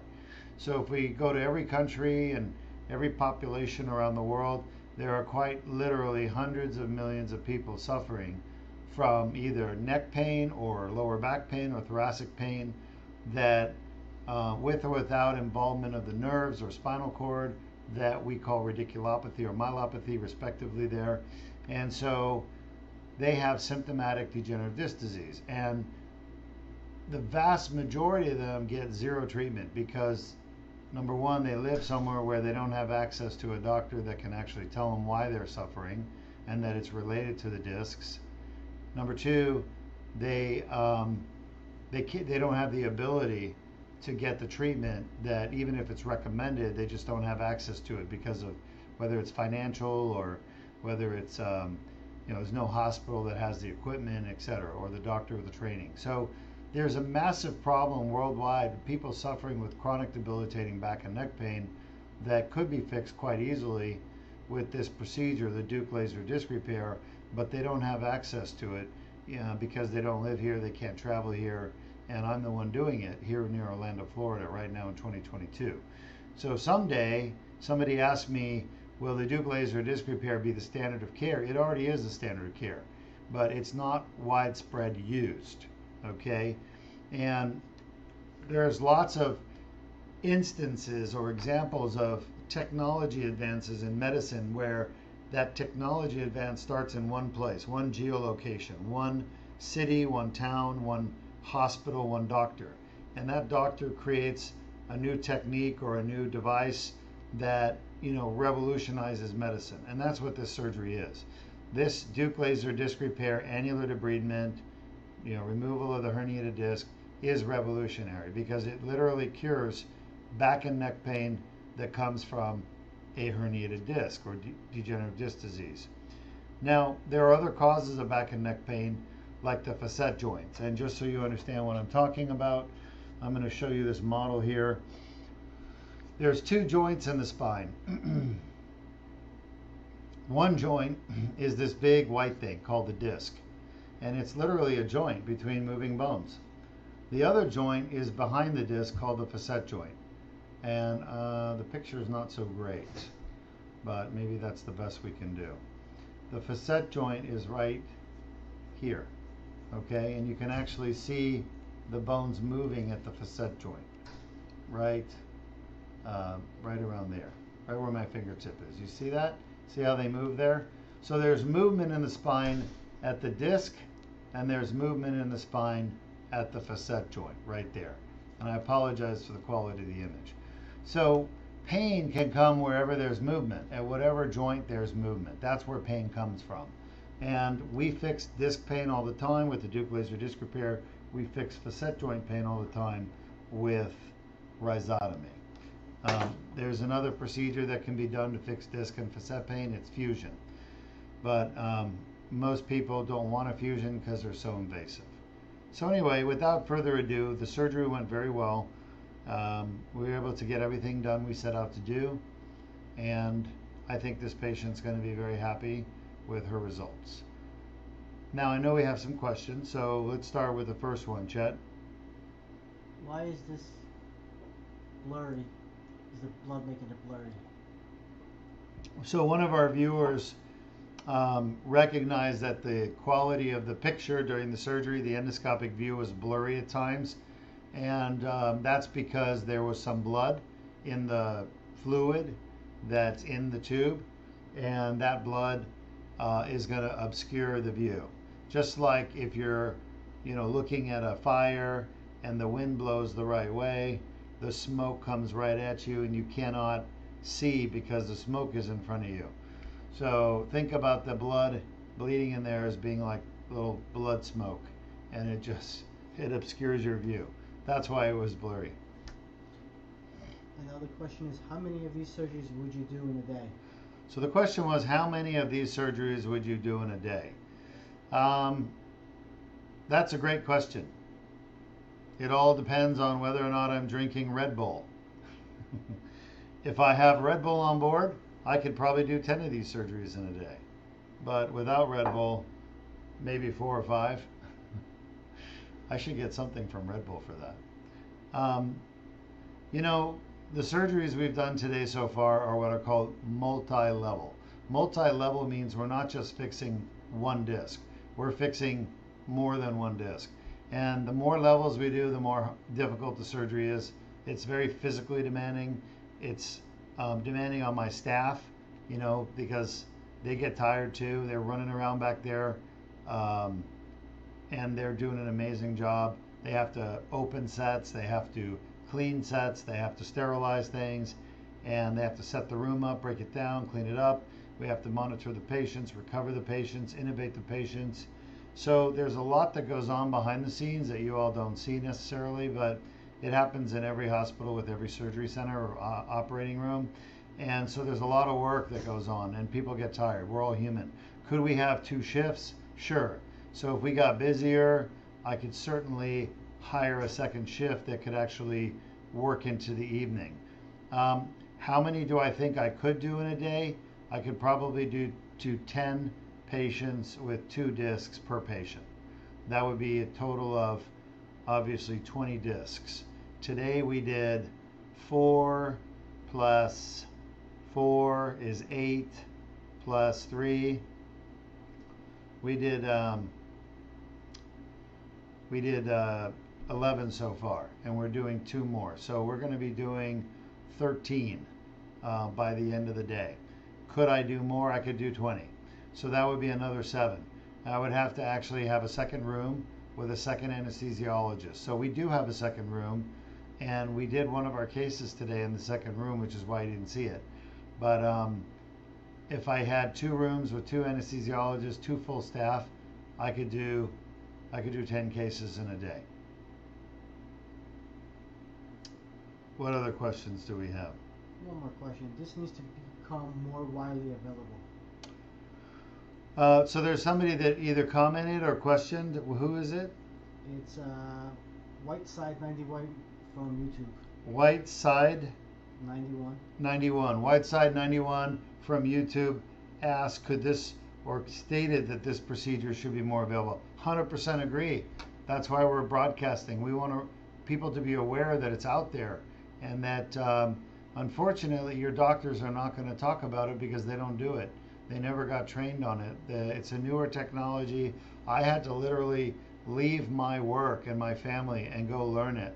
And I did that after I got done with my training as a resident and fellow. So it actually was um, extra training. And I'm not patting myself on the back, but what I'm trying to tell you is that, you know, a lot of surgeons don't want to go learn new things. They want to learn what they learn in residency and training and then go into practice and then just do it. And so um, some doctors are interested in learning new technologies and kind of keeping up and doing what's best for the patient.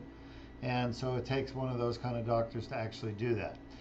That said, there's a lot of um, resistance to this endoscopic surgery because, and I've said this a hundred times, maybe you can see this. Those are screws and rods, and fusion surgery uses implants like screws and rods. And the the beneficiary of us doing screws and rods is the is the uh, implant company because they sell those screws and rods for about ten thousand dollars per disc. So if you're having three discs fixed, that's about thirty thousand dollars worth of screws, rods, and cages. And if you multiply that times a million surgeries, fusion surgeries done every year, just multiply. It's probably going to be around um, an average of $10,000 to $15,000 per surgery, fusion spine surgery, times 1 million cases. I don't even know what that number is, but it's billions. So, what that tells you is that the um, companies that manufacture and sell screws and rods and they promote the use of screws and rods to spine surgeons and they promote it to them while they're just beginning their training for seven, six or seven years of spine training, they're there from day one.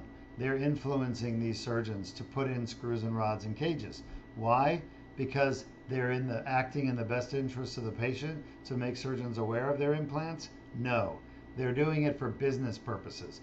They want to stick that they want the surgeons to stick all that metal in patients because they're making billions of dollars in profit every year. Do you if this costs, if I charge you ten thousand dollars for these screws and rods, do you really think it costs me ten thousand dollars to make this? No, it probably costs quite literally fifty bucks to make this, and then they make ten thousand dollars for fifty dollar investment. Now they're going to complain and say, "Oh, but we have to pay for the intellectual property rights. We have to pay for, you know, wages in India or wherever it is they're made." But the reality is, is even if you look at all their costs, their costs are well below $200. Their margins are 500 uh, percent easy. And so, um, do they really need 500%? No. But in the end, business is business, and I can't fix that, okay? But you guys can. People can demand spine surgery without implants. You can demand the Deuk laser disc repair. And if you do it, and more people do it, and more people turn away from screws and rods and cages and fusions, then um, it is going to become more popular and more well uh, widespread. All right, so somebody asked, what about the moaning and groaning, right? Scream. Yeah. So the reason why patients could moan and groan during surgery is because they are awake. And why are they awake? Because we did not put a tube down we don't do this particular surgery with a tube down. We do it with the patient um, on nasal cannula oxygen and what's called MAC, which is monitored anesthetic care or monitored airway. And basically, um, we do propofol sedation. Why do we do it that way? Because I need that patient able to talk to me when I'm placing those needles into their spine. Because the reality is, if I'm placing the needle in to the herniated disc, I'm going right past their nerve. And the nerve is up here, and I'm going down here. And so if I get too close to the nerve, I'll rub on it, and they're going to say, ah, I have pain in my leg. I need to know that because I got to then move where I'm going, and I got to go lower, basically. And so for me to um, to do the procedure safely, I have to have the patient awake. And because they're awake, we have to use propofol sedation. So it's the best we can do. We don't like the patients being awake, but it's necessary for their safety. That's why you hear them moaning and groaning sometimes. And um, the truth is, is that um, if the patient comes in and they're not on other medications for pain, like other drugs, let's just say other drugs, then they won't be awake. They'll be asleep the whole time. But when patients um, when patients use other substances to help control their pain and their anxiety from pain, I'll give you an example like alcohol, for example. A lot of people uh, partially treat or help treat their pain by alcohol. They drink, you know, they may drink, you know, a fifth of whiskey just to uh, dull the anxiety from their pain. They may do other drugs. They may vape. They may do marijuana. But the point is, is we're not here to judge them. But um, those other drugs can affect the propofol and how well it works. So when we see a patient where the anesthetic's not working the way we expect it to, we think there's something else that might be going on. Not not always, but like some other drug that's where their liver is beefed up, they're able to metabolize the propofol differently. Point is, is that uh, we're here to help the patient get well, and we can't detox every patient before they have surgery. So um, they're adults, and they make choices for themselves. And in the end, either they get themselves off the other drugs before they come here and have surgery, or they don't. And if they don't, well, they may end up not having um, the, the anesthetic we use may not be as effective as we want it to be. So I hope that answers your question. Do we have any others? I hope you enjoyed the surgery. Have a wonderful day.